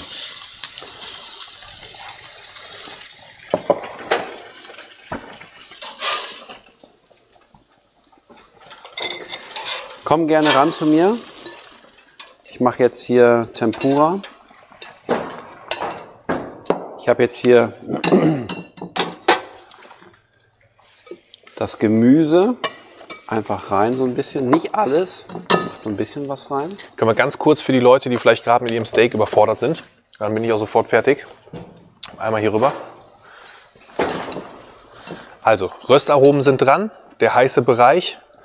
Der heiße Bereich ist jetzt so runtergeriegelt, dass ich einen Brenner wieder ausgemacht habe, den anderen Brenner auf kleinste Stufe und die Steaks davon entfernt gelegt habe.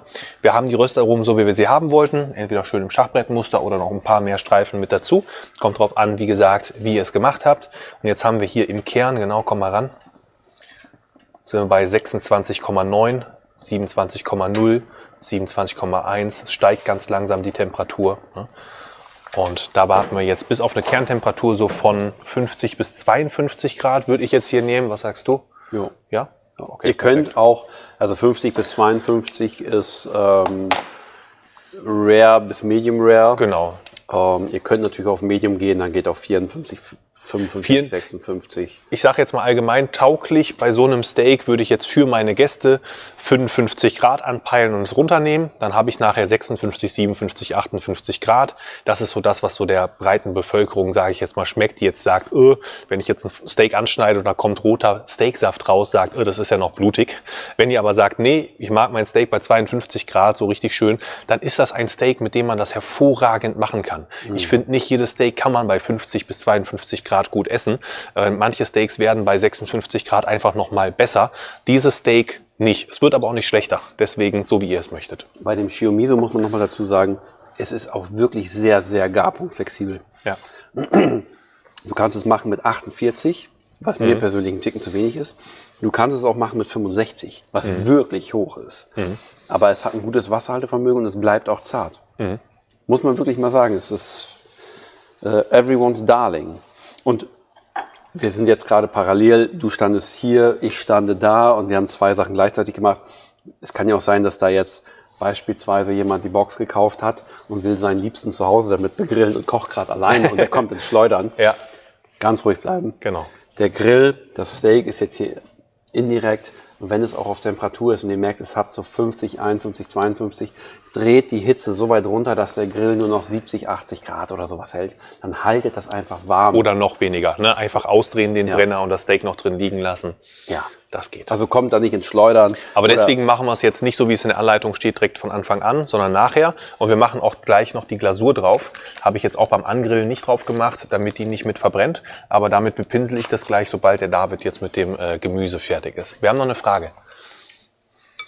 Ja. Ähm, kann das Trennspray im Sommer im Unterschrank gelagert werden ohne Probleme und das Steak damit ölen oder geht das Öl kaputt? Hm, geht das Öl kaputt. Es ist, wenn ich es jetzt beurteilen müsste, du hast mhm. wahrscheinlich auch noch keine Erfahrungswerte damit, glaube ich. Ich habe schon Erfahrungswerte ja. damit. Wir haben das Spray jetzt so seit einem Jahr. Mir ist es noch nie kaputt gegangen, aber ich würde mal abhängig davon machen, wie oft man grillt und äh, wie sehr es der Sonne wirklich ausgesetzt ist. Wenn ich, wenn ich das jetzt als Lebensmitteltechniker beurteilen ja. müsste, würde ich sagen, es ist ähnlich wie ein, ein Mineralwasser, was durch die Kohlensäure und den Druck ja haltbar gemacht wird. Genau. Das gleiche ist da. Ja. Und ich vermute, ich kann es nicht beschwören, aber ich mhm. vermute, dass es resistenter und haltbarer ist, durch, dadurch, dass es da unter Druck steht. Ich gehe auch davon aus, vor allem ist es ja auch etwas, was wirklich gut isoliert ist gegen irgendwelche ähm, Fremdstoffe. Ne? Wenn ich jetzt ja. normalerweise Öl habe, kann da immer mal wieder was reinkommen. Und das kann bei dieser Sprayflasche einfach nicht so leicht da reinkommen. Man muss auch mal sagen, egal ob das jetzt das, das Öl ist oder selbst ein Bier in einer Dose, mhm. der beste Aufbewahrungsort für so, oder ein sehr, sehr guter Aufbewahrungsort für so ein Lebensmittel ist eine Dose. Ja. Weil es ja. wirklich 100% lichtblickdicht genau. ist. Und, ähm, ich würde auch sagen, also sehr dicht auch. Da sollte nicht unbedingt was schiefgehen, jetzt, dass das Fett ranzig wird, ähm, gehe ich nicht von aus. Ähm, wo man natürlich aufpassen muss jetzt bei so einer Dose, wo was zum Sprühen mit drin ist. Das ist ein Fettrennspray. Ihr seht, ich habe das nicht einmal geschüttelt heute. Das sprüht einfach immer perfekt. Und das ist für Öl relativ außergewöhnlich, weil viele Spraydosen haben das Problem, dass ich nur so einen dünnen Strahl habe, dass das total versifft, dass das nicht funktioniert. Da haben wir eben extra darauf geachtet, dass es wirklich 600 Milliliter sind, die perfekt zu sprühen sind. Ähm, aber deswegen ist natürlich da auch ein Gas enthalten. Das kommt nachher nicht auf Steak, aber das ist zum Sprühen da. Und das Gas unterm Grill, wenn ich jetzt, weiß nicht, den Grill bei 400 Grad habe und ich habe das Spray direkt darunter unter der Hitze, wäre ich vorsichtig. Es ist, wir wissen jetzt nicht, ob die Frage in Richtung Haltbarkeit geht genau. oder in Richtung Brandgefahr. Knallt das? Ding. Genau, richtig. Na, da wäre ich bei unter, also im Schrank unten wirklich nah am Boden lagern, sage ich, alles cool, würde ich sagen, ist kein Problem. Aber ich würde es auf jeden Fall von den Hitzequellen hier erstmal im Sommer fernhalten. Okay. Ja. Damit wir ein bisschen ähm, auch ja weil das Steak zieht jetzt ja und wir müssen uns um das Tempura kümmern. Ähm, vielleicht könnt ihr hinter der Kamera gleich versuchen, Close-Up zu machen. Das Kabel reicht nicht ganz hier rum, aber vielleicht können wir so ein bisschen versuchen, hier drüber zu filmen, gucken, ob das ein schönes Bild wird. Ähm, ich fange an, das jetzt reinzumachen. Das Tempura ganz langsam reindippen, eins nach dem anderen. Und ähm, nicht alles auf einmal, sondern legt es einzeln nach. Und äh, parallel dazu kam, glaube ich, noch eine Frage rein. Oder ich fange schon mal an reinzumachen. Und ich versuche auf die Frage einzugehen. Was ist eure Lieblingsvorspeise auf dem Grill, weil es schnell gemacht ist? Boah, schwierige Frage. Lieblingsvorspeise auf dem Grill, die schnell gemacht ist. Wir haben ja gerade zwei sehr geile Vorspeisen gehabt. Also Tatar würde ich so mit unter meine Top 3 packen. Man kann das Tatar natürlich auch äh, Tataki machen, wie die Japaner ihren Thunfisch machen. Also komplett rohem Kern, einfach nur mhm. Röstaromen drumherum mhm. und dann hacken. Mhm. Dann hast du in deinem Tatar halt Röstaroma nochmal mit drin. Dann haben wir halt, weil wir haben das Tatar ja ohne Grill gemacht. Mhm. Dann könnte man noch den Grill mit ins Spiel bringen, wenn man so ein bisschen Showcooking ja. machen will. Ne? Ja. Ähm, was ich bei Grillabenden mit Freunden einfach ganz oft mache, sind einfach geniale selbstgemachte Dips und dazu richtig schön frisches, aufgebackenes Brot auf dem Grill. Das ist was, ähm, was total simpel ist, aber immer wieder halt geil ist. Also würde ich niemals beim Grillen vermissen wollen. Ah, kommst du rum, das ist perfekt. Ähm, was wir auch schon im Chat hier hatten, die Mini-Burger von uns. Ja. Das ist etwas, man hat ja auch nicht immer so die Zeit, großartig viel vorzubereiten, aber man will trotzdem lecker kochen. Und da sind die Mini-Burger, wenn man Gäste hat, eine sehr, sehr gute Sache. Und die kommen, egal ob jung oder alt, die kommen bei jedem gut an. Du hast halt eine Gewährleistung, dass du was hast, was allen gut schmeckt.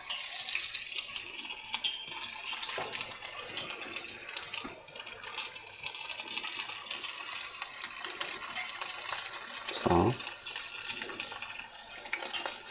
Das stimmt. Ja, ansonsten fallen mir viele Spielereien ein, also von gemischten Salaten, die man anmischen kann fürs Grillen, die man dann schon vorab essen kann. Oder aber auch vielleicht in kleinen Dutch Oven ein paar Suppen oder sowas anreichen vorher. Da kann man alles Mögliche machen. Aber wäre vielleicht auch eine coole Idee, so irgendwie drei außergewöhnliche Vorspeisen vom Grill. Ich glaube, wir haben tatsächlich auf unserem YouTube-Kanal ein Video dazu. Genau so? ja, ich, ich glaube ja. ja. Sowas, wird, sowas wird sehr selten geklickt tatsächlich. Ja. Ich glaube auch, es sind Videos, die nicht so viele Aufmerk also so viele Aufrufe bekommen, aber Ist ja. egal. Ich mache auch solche Videos, die nicht so viel Potenzial versprechen. Yes.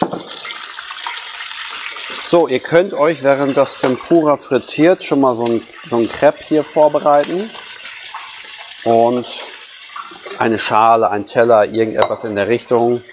Da kann man das Tempura gleich reinheben. Ich habe zwischendurch jetzt auch den Gasbrenner ausgemacht bei uns, weil das Öl auf Richtung 200 ging. Das soll natürlich nicht verqualmen, um so ein bisschen die Temperatur da auch zu steuern. Ich würde sie die zwischendrin noch einmal so ein bisschen drehen, weil die schwimmen ja, ja in der Regel oben. Ja. Ich tippe die immer mal so ein bisschen an. Genau. So einen kleinen Flip. Dass die sich so ein bisschen drin bewegen.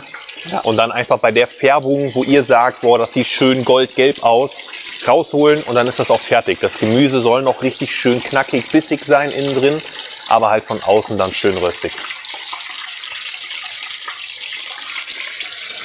So, wir müssen aber uns um das Steak jetzt auch nochmal kümmern mit der Teriyaki-Glasur. Also das ist jetzt hier ja auch der letzte Gang. Wenn ihr so ein bisschen ins Schleudern kommt oder ins Trudeln, nehmt euch alle Zeit der Welt. Ihr müsst ja nach diesem Gang... Haben wir einen Silikonpinsel eigentlich da? Hast du einen? Bestimmt 50 Stück hier Bestimmt irgendwo. 50 Stück. Ah, da vorne ist ein schwarzer. Ah, also hier in der Firma 50 Stück, aber es ist genauso wie mit Grillzangen. Wir haben einen Silikonpinsel. Silikonpinsel im Idealfall.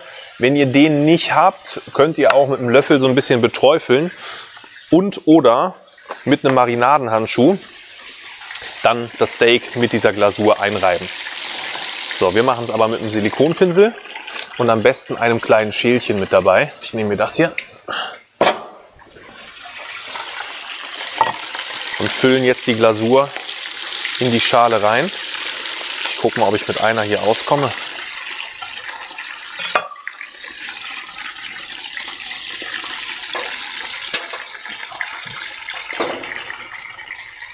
So eine schön flüssige, leicht klebrige Soße ist es. Aber Teriyaki-Soße sollte ja allen Begriff sein. Passt zu einem Steak wirklich auch als Soße hervorragend. Also mit einer meiner Lieblingssoßen generell so beim Essen und bei Steaks. Wirklich top. Ist der Ton eigentlich okay? Ich stehe die ganze Zeit da an dem Frittierpot und es blubbert wie es blau. Vor allem, wir fragen jetzt den Ton nach zwei Stunden. Ist der Ton eigentlich okay? nee, bitte ja. nochmal anders machen. Okay, wir fangen nochmal neu an. Könnte nochmal von vorne. genau. Also man konnte es schlecht hören. So, legen wir die Steaks mal hier hin, dann kann man noch mal das nochmal sehen. Steaks sind bei uns jetzt tatsächlich auch schon fast fertig. Wir stehen hier wie so zwei DJs an so einem Mischpult. Das ist tatsächlich, wenn ich zu Hause mit Freunden grille, auch immer so. Ich stehen immer so zwei, drei Leute am Grill. Jeder macht was, jeder hat voll Bock. Aber das ist doch auch schön. Ich liebe das. Am liebsten morgens um 11 Uhr anfangen und immer Kleinigkeiten machen.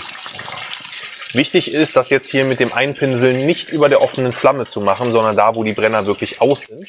Und wenn ihr euch den Grill nicht ganz einsauen wollt, dann legt ihr von mir aus auch noch Rost rausnehmen und eine kleine Schale reinlegen und dann wieder drauflegen oder halt nachher dann die Fettschale einmal, einmal ausleeren und erneuern. Bist du so ein Mensch, der seinen Grill so auskleidet und so Nö, ganz gar nicht. So? gar nicht. Auch Aber ich erwähne es in den Videos immer einmal mit dazu. So, wir machen jetzt mal einen Brenner hier nochmal an. Der ist an, genau, und machen den auf niedrigste Stufe. Wichtig ist auch, wenn ihr das jetzt gemacht haben solltet, mit Brenner, die noch an sind oder beim Grillen selber, die Temperatur ein bisschen runterfahren. Wir haben eben schon drüber gesprochen, über Steaks, über Glasur, über Zucker. Zucker verbrennt einfach viel schneller bei einer viel niedrigeren Temperatur schon.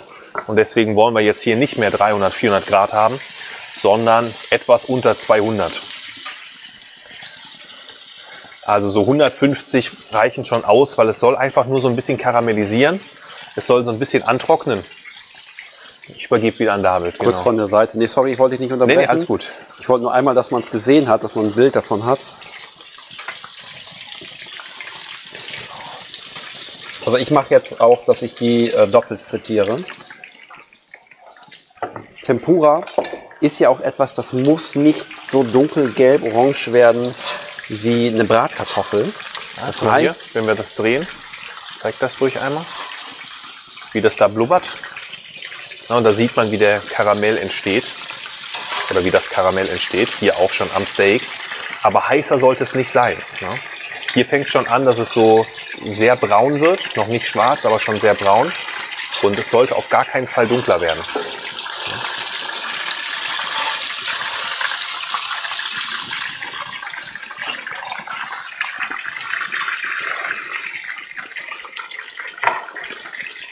habe noch ein bisschen was von der Soße über. Ich pinsel es noch ein zweites Mal ein und dann ist es fertig.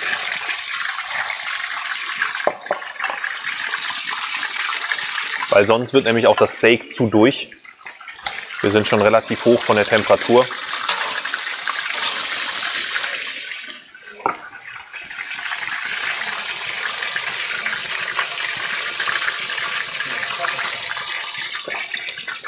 Hm?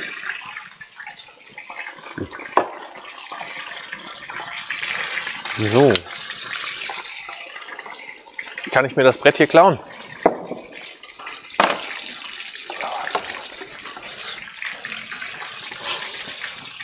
Daniel ist da. Was es leider nicht gibt, ist, dass wir jetzt euch den Geruch auch übertragen können. Aber ihr könnt das vielleicht gleich auch zu Hause noch wahrnehmen, was wir zu dem Zucker meinten, deswegen die Temperatur so niedrig. Ich habe jetzt die Steaks runtergeholt, weil es fing gerade langsam so an, so zu riechen, dass der Zucker anfängt, hier auf dem Rost schon zu verbrennen. Ja? Und dieser Geruch, wenn so verbrannter Zucker da ist, das ist das, was wir nicht am Steak haben wollen, weil das schmeckt nachher nicht. Und hier jetzt einfach euren Grill, damit er gleich wieder sauber ist, einmal kurz hochheizen, Deckel schließen, das verbrennen lassen, abwürsten, sauber. Wir haben wirklich viel Tempura-Gemüse. Ähm, ihr könnt das Wir ja. haben auch zwei gute Steaks. wir haben auch zwei gute Steaks, ja. Ich nehme die Steaks. ja, nächste Frage. Vielleicht eine doofe Frage, aber wird das Steak von Es gibt vielen nur doofe Wänden Antworten. Bitte? Wird das Steak von vielen Wänden nicht trockener? Tatsächlich eben nicht. Ähm, ist auch keine doofe Frage. Die Frage war, wird das Steak von vielen Wänden nicht trocken?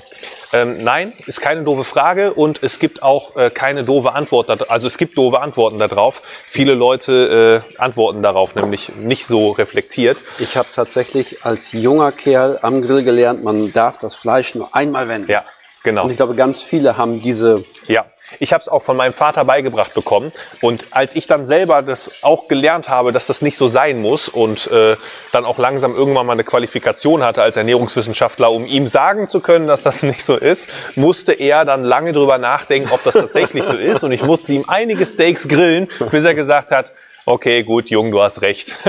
Das stimmt. Äh, Man muss das Steak nicht nur einmal wenden, man darf es so oft drehen, wie man will.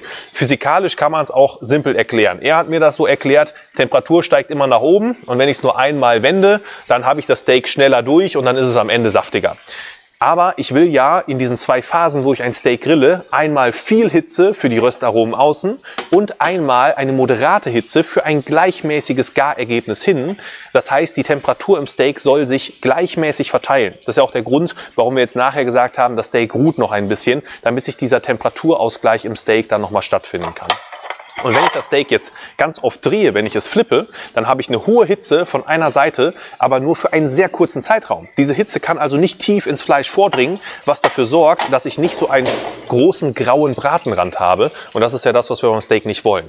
Je kürzer und heißer ich ein Steak angrille für die Röstaromen, desto besser ist es für Steak. Und wenn ich halt hohe Hitze habe, drehe ich es öfter, dann habe ich diese hohe Hitze immer nur kurz von einer Seite wirken. Das so als kurze Erklärung dazu. Also ja, wenden, wenden, wenden. Nächste Frage. Ist es eine besondere Teriyaki-Soße oder gibt es die der Grillgut? Äh, bei Grillguts gibt es genau diese Teriyaki-Soße nicht. Die ist hier selbst gemacht, hier bei Adventure. Ähm, aber besonders, ja, sie ist besonders gut, weil sie selbst gemacht ist. Aber Teriyaki-Soße an sich, äh, da könnt ihr eine sehr gute Teriyaki-Soße kaufen. Könnt auch bei Grillguts vorbeikommen äh, oder online shoppen. Funktioniert natürlich. So, ich habe jetzt einen Schwung von dem Tempura-Gemüse durchfrittiert. Lass das jetzt hier noch mal kurz ruhen, weil das Gemüse ist ja heiß. Ich habe es gerade schon mal erwähnt, aber noch mal gesagt, doppelt hält besser. Es schwitzt jetzt so ein bisschen Feuchtigkeit von innen nach außen in die Panade aus, wenn es jetzt hier nachruht und durchweicht die Panade von innen nochmal nach. Man merkt das jetzt nach zwei, drei, vier, fünf Minuten, wird das ein bisschen latschig. und die Panade wird ein bisschen weicher wieder. Und dann bekommt das Tempura-Gemüse den zweiten Frittiergang auf den Kopf, bam, und dann wird es richtig super ultra kross. Das Fleisch ruht jetzt hier. Der zweite Frittiergang wird auch nur ganz kurz wirklich noch einmal nachrösten und dann sind wir gleich ready to serve. Ja, mhm. Würde ich auch gleich dann direkt anrichten wollen. Ja. Weil das Steak wird jetzt äh, immer noch kühler. kälter. Ja, ja, ja. ja genau. So. Ich mache auch jetzt, also wenn ihr die Zeit habt und zu Hause äh, vom Zeitplan so seid, dass ihr ähm, zweiten Frittiergang machen wollt und noch zwei, drei, vier Minuten warten könnt, macht das. Ich mache es jetzt aufgrund des Steaks sofort und frittiere das nochmal nach und man merkt jetzt auch schon, nimm, nimm in die Hand. Mhm. Ja. Also ist, außen ist es noch so leicht, ich sag mal hart, aber ja. es ist innen wieder weich geworden. Und jetzt nochmal anknuspern, dann wird es auch außen richtig schön knusprig. Man sieht auch so ein bisschen, wie es dampft, dass mhm. wirklich das heiße Wasser da rauskommt. Das Steak dampft auch noch. das ist doch zumindest schon mal gut. Genau. Ich guck mal eben, dass wir nichts vergessen. Den Knoblauch haben wir ja noch. Genau. Zweieinhalb Stunden haben wir schon. Wir haben gesagt zwei bis drei Stunden. Ja. Haben wir unser Wort gehalten. Genau, kriegen wir, kriegen wir noch hin. Ja. Hole ich schon mal Teller. Haben wir noch Teller hier? Äh, Teller bestimmt. habe ich da ganz viele gestellt. Ach, perfekt. Die Teller von uns sind natürlich jetzt relativ kühl. Und wenn es eine Sache gibt, die ich hasse, sind das kalte Teller. Ja. Wenn ihr die Möglichkeit habt, haltet die Teller warm, macht die irgendwie vorher Einmal in Backofen, niedrige Temperatur. Genau. Und dann. Wenn ihr Gäste habt, stellt ihnen keine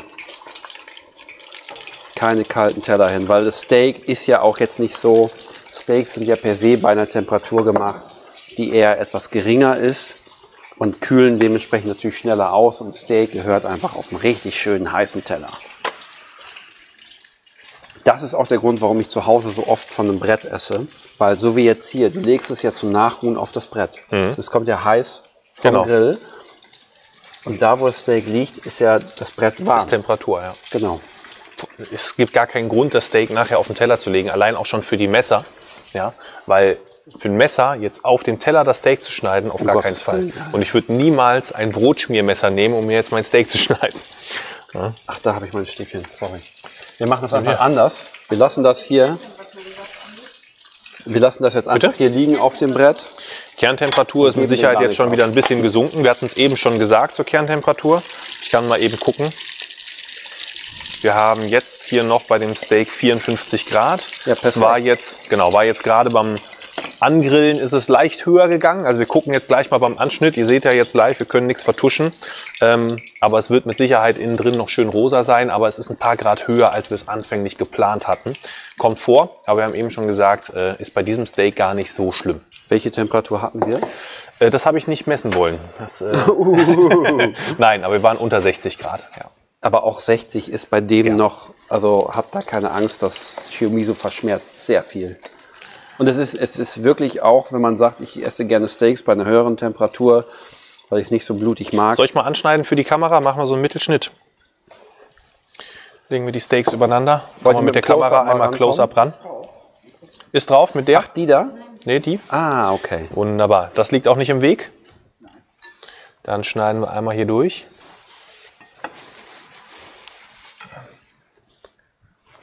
Herrlich, oder? Sag mal. Hey, perfekt. Das ist super. Und guckt mal, wie das saftet. Habt ihr es noch auf Close-Up? Das tropft wie ein Kieslaster. Ja, ja. ja.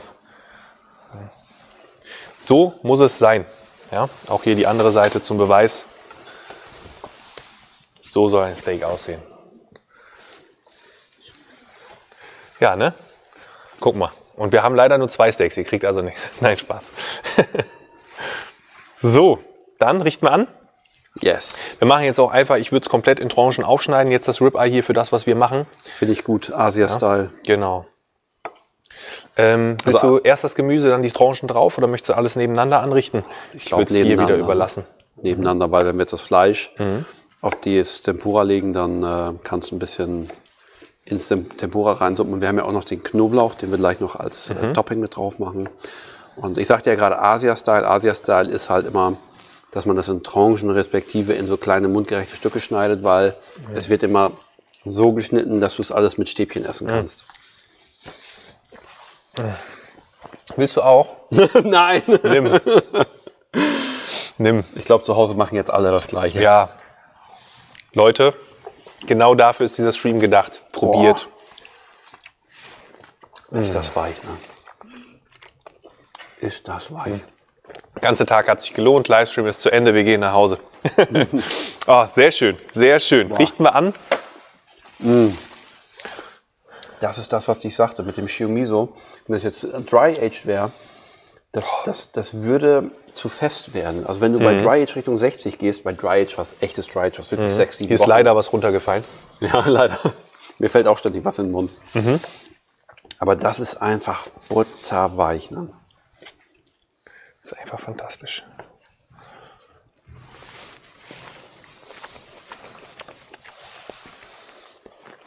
So, wir müssen anrichten, die hinter der Kamera schmachten. Wir müssen.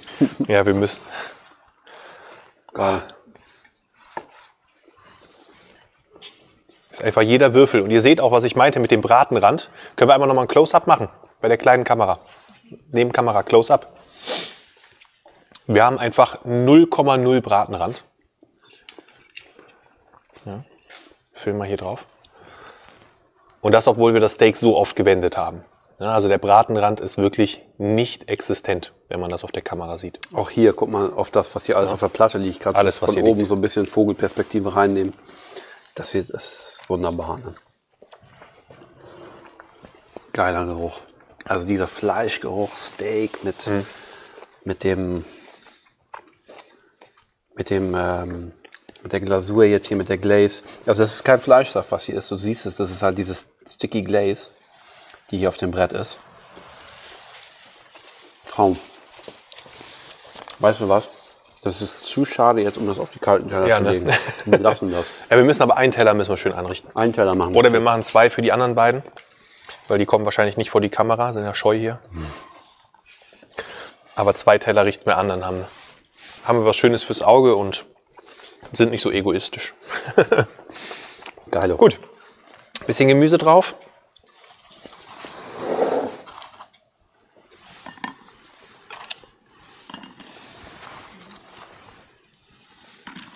Wer da Bock drauf hat, ich meine, es ist jetzt halt vom Pairing her, wäre es Fusion Food, äh, Trüffelmayo. Äh, Trüffel und Asia-Aromen kann tatsächlich auch gut zusammenpassen. Weil das Trüffel oder auch die Trüffelmayo, dieser Trüffelgeschmack ist ja etwas, wo 99,9% der Leute sagen, mega geil. Finde ich total cool. Und 1% der Leute sagt dann vielleicht, oder 0,1%, Trüffel ist gar nicht meins. Ne? Mhm. Wir haben noch den Knoblauch, das sollten wir auch auf jeden Fall machen. Dieses ja. Knoblauch ist natürlich auch aus der japanischen äh, Küche. Ja, absolut. Finde ich auch sehr gut. Den dehydrierten und gerösteten Knoblauch. Ihr könnt den Knoblauch als ganze Flakes, so wie ich das jetzt hier habe, und ihr ja auch alle, äh, drüber machen. Ihr könnt aber auch den so uncrunchen mit der Hand so, wie so ein grobes Salz und den so ein bisschen bröseliger drüber Apropos machen. grobes Salz, ne? euch ist aufgefallen, wir haben hier noch kein Gewürz rangegeben. Wir haben diese Teriyaki-Soße dran gehabt, aber ansonsten nichts. Und es ist so einfach schon ein Traum. Ich würde auch nichts anderes mehr dran machen wollen. Wenn man jetzt Pfefferliebhaber ist, könnte man noch ein bisschen Pfeffer dran machen. Aber ansonsten braucht dieses Steak für mich gar nichts. Ja. Ja, sehr schön. Die Knoblauch ist drauf. Äh, ansonsten, wir können hier noch ein bisschen Alibi-Grün dran machen. Ja. Alibi-Grün. Genau. Ich würde sagen, wir machen noch mal zwei schöne kleine Abschlussbilder von dem Teller. Hermann, kannst du uns die noch einmal einfangen? Für wir müssen auch das Gemüse für die Leute mal probieren. Ne? Ja. Ein Foto, ja. Für diejenigen, die die Box jetzt nicht haben, einfach mal noch mal ein schönes, paar schöne Bilder einfangen und dann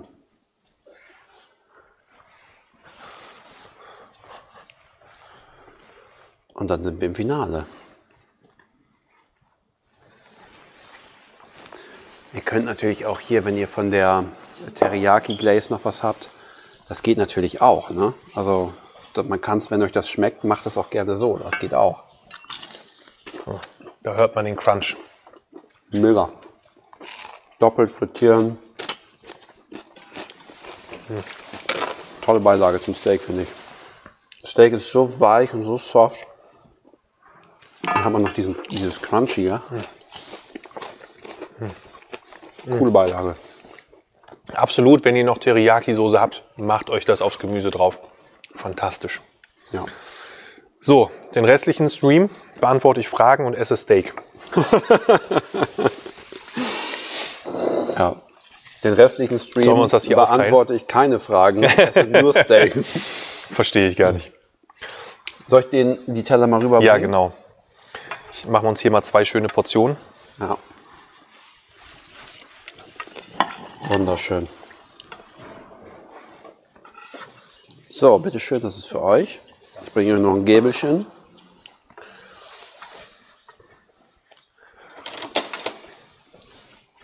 Wo ist das Frühlingsfest?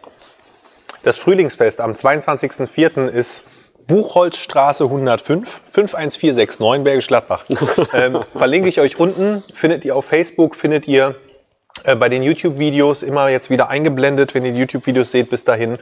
Ähm, ach, wird auch jetzt eingeblendet. Ah, mega, mega, richtig professionell hier. Erster Livestream und direkt so professionell.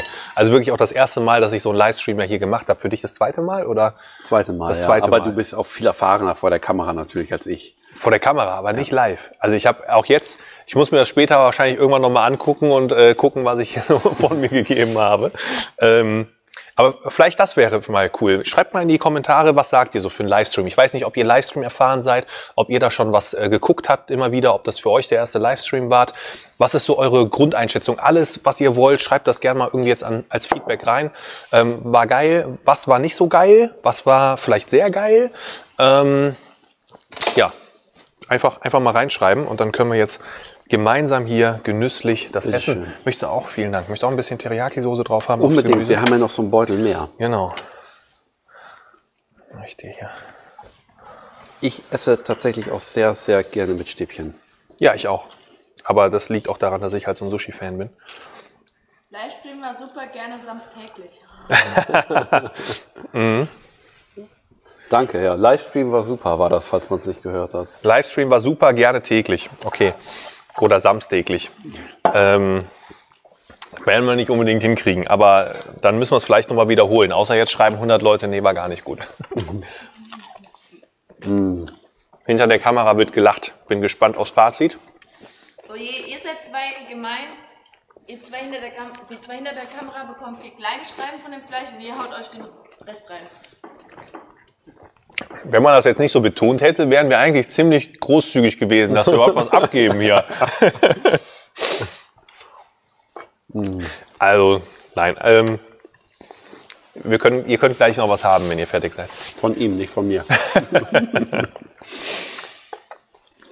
Sehr positives Feedback. Das ist cool. Das Schönes, ist cool. positives Feedback, das ist schön, hört man gerne. Nette Musik im Hintergrund. Wünscht sich jemand? Okay. Könnte man überlegen.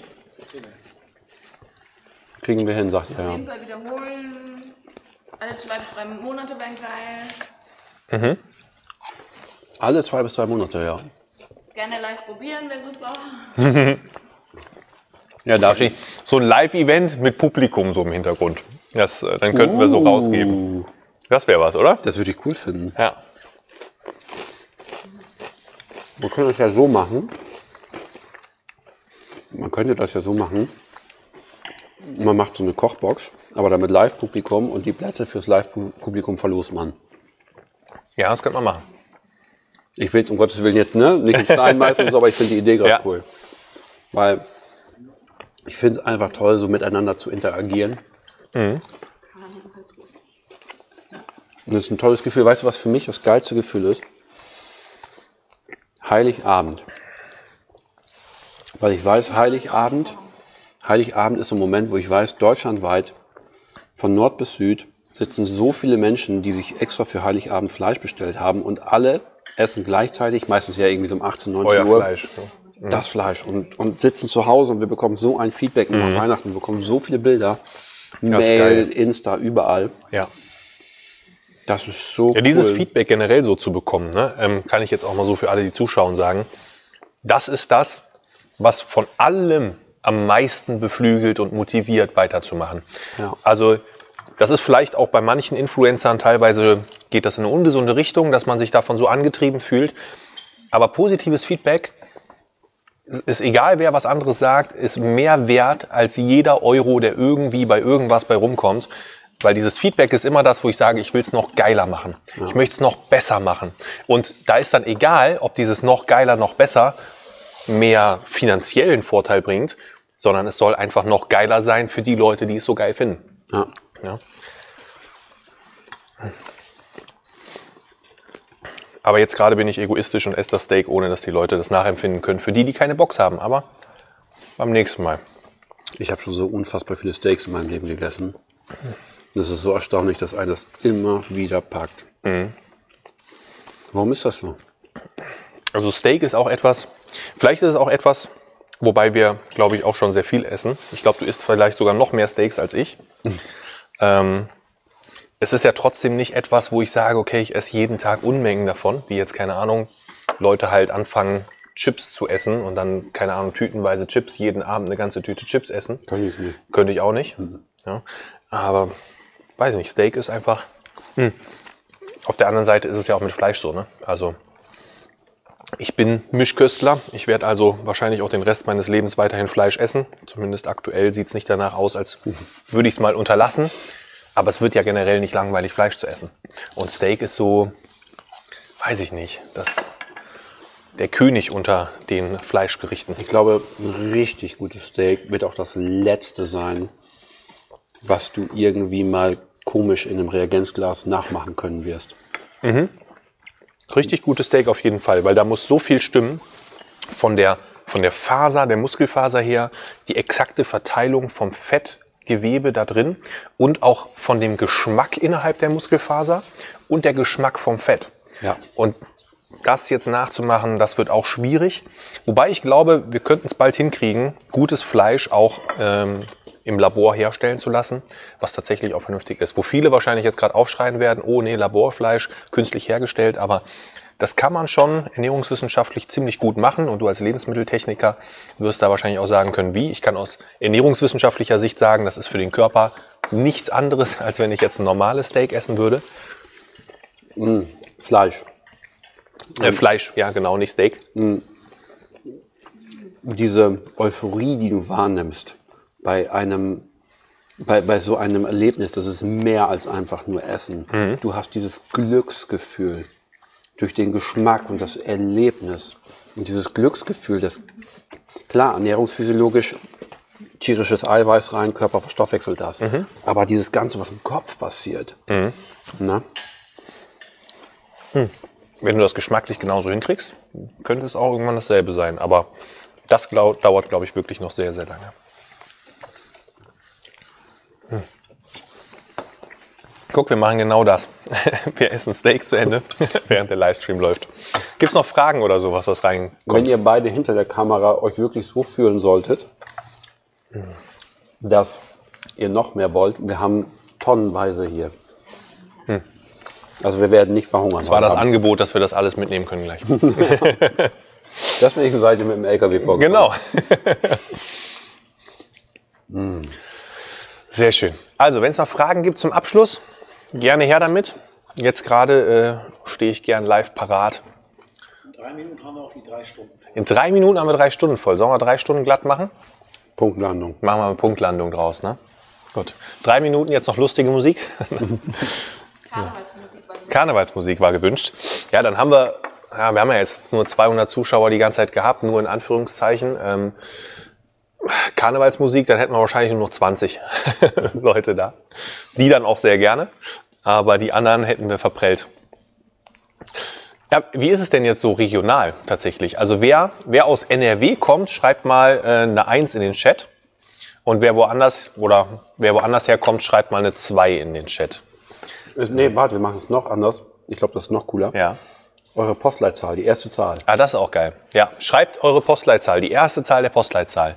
Also eine 5 oder eine 6 oder eine 1. Noch die 1 und 2 Sind noch die Einser und Zweier? 7, 4, 3, 4, 3, 3, 2, 1, 7, 6, 4, Oh. 4, 3, 3, 4, 3, 5, 3, 4, 6, 5, 5, 7, 3. Also wir hören gerade zu, wie hier 4, 3, 4, 5, 6, 7, 8, 4, 1, 2, 3. Also alles, alles mit dabei. Okay. Relativ viel 4, 4, 3, 4 und 5. 3, 4 und 5. Ja, also NRW ist auch viel mit dabei. Das ist so. Ist ja auch Das eine schön. bevölkerungsstarke Region. Ja, das stimmt. Können wir jetzt mal analytisch auswerten, aber machen wir nächstes Mal.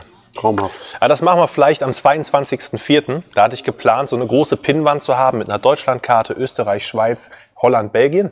Und dann kann jeder, wo er herkommt, sich da anpinnen, wo er herkommt. Und dann haben wir nachher eine Karte aus den Regionen, wo die Leute tatsächlich angereist sind. Und vielleicht kriegt auch derjenige, der von der weitesten Entfernung her kommt, nachher vielleicht irgendeine- irgendeinen Preis überreicht. Ja, mal schauen. Ich wette, irgendjemand kommt aus whatever, Neuseeland, Australien oder so. Meinst du? Garantiert. Also ich habe jetzt, als wir am 1.10. Äh, Grillguts übernommen haben, kamen wirklich die ersten Wochenenden Leute aus Holland, aus Belgien. Und zwar nicht vereinzelt, sondern wirklich, wir hatten irgendwie jedes Wochenende jemanden aus Holland und aus Belgien da. Die Leute kommen aus Stuttgart hochgefahren. Einer ist, um seinen Grill zu kaufen, aus Berlin zu uns rübergefahren mit seinem Transporter. Der Transporter ist ihm unterwegs verreckt, ist mit dem Mietwagen weitergefahren zu uns, um seinen Grill zu holen und am selben Tag wieder zurück. Falls du das sehen solltest, Ganz liebe Grüße an dich. Mega, hat mich sehr gefreut. Und falls du es am 22.04. schaffen sollst, aus Berlin, ich würde mich sehr freuen. Aber das sind wirklich Stories auch, auch heute, gestern, letztendlich jeden zweiten Tag erleben wir das, dass die Leute von keine Ahnung woher kommen, vier Stunden teilweise mit der Familie angereist kommen, ja, morgens um 5 Uhr sich ins Auto gesetzt haben, dann bei uns sind und dann weiß ich nicht, eine Grillbürste kaufen, ein Foto machen, sich den Laden angucken und äh, ja, dann wieder weiterziehen. Es war noch eine Frage. Ja, wie lange halten die Adventure Steaks im Tiefkühler ohne Qualitätsverlust? Wie lange halten die Adventure Steaks im Tiefkühler ohne Qualitätsverlust? Das finde ich eine ganz, ganz tolle Frage. Weil du jetzt punkten kannst. Denn wir legen unser MHD, unser Mindesthaltbarkeitsdatum, nicht fest an, wann ist es wirklich abgelaufen, sondern wie lange halten wir 90 oder 95 Prozent, muss man sagen, der Qualität. Wir haben schon Rückstellproben gehabt, die waren vier Jahre alt. Konstant bei minus 18 gelagert. Sensorisch top, einwandfrei. Also unsere MHDs bei unseren Produkten sind ähm, der eine oder andere mag vielleicht denken, dass es ein bisschen lang ist, aber wir haben unzählige Jahre Erfahrung jetzt gesammelt, wo wir das genau einjustieren. Und wir reizen natürlich nicht das Limit aus, sondern wir gehen da eher nochmal so ein bisschen zurück. Und ähm, normalerweise ist es so, dass wenn die Steaks angeliefert werden, das sind schockgefrorene Steaks. Also die werden schockgefroren bei uns, bei minus 20 Grad gelagert. Tiefgekühlt verschickt, kommen auch tiefgekühlt an. Die tauen nicht an oder auf oder so. Die kommen wirklich tiefgekühlt an. Und ihr könnt die tiefgekühlt gleich weiter bei euch in die Gefriertruhe legen. Und wenn ihr Bock habt auf ein geiles Steak, einfach raus aus der Gefriertruhe und äh, Wir müssen Schluss machen, die Punktlandung ist vorbei. Erlebnis haben. Ich glaube, da sind wir schon lange Sind wir drüber? Ja. Ja. Okay, Ja, also dann ne, die Steaks halten auch zu Hause noch lange, lange genug und ohne Qualitätsverlust. Aber je, auf jedem Etikett ist ein Datum drauf, alle einzeln etikettiert und Ja. ja. Also, ich fand es war ein mega schöner Abend, hat mir extrem viel Spaß gemacht. Es war gutes Essen. Wir haben noch eine Frage, okay, ganz schnell. Wie sieht's aus mit Parkplätzen am 22.04.? Wie sieht's aus mit Parkplätzen am 22.04.? Okay, zum 22.04. Parkplätze en masse. Das ist ein Gewerbegebiet. Wir haben quasi eine große Sackgasse des Gewerbegebietes. Auf der einen Seite ist unser Laden, unsere Grillschule, unser Eventbereich und auf der anderen Seite ist unser Lager. Und alles dazwischen gehört noch zu uns mit dazu. Das heißt, da wird das alles stattfinden. Insgesamt knapp 2000 Quadratmeter Fläche.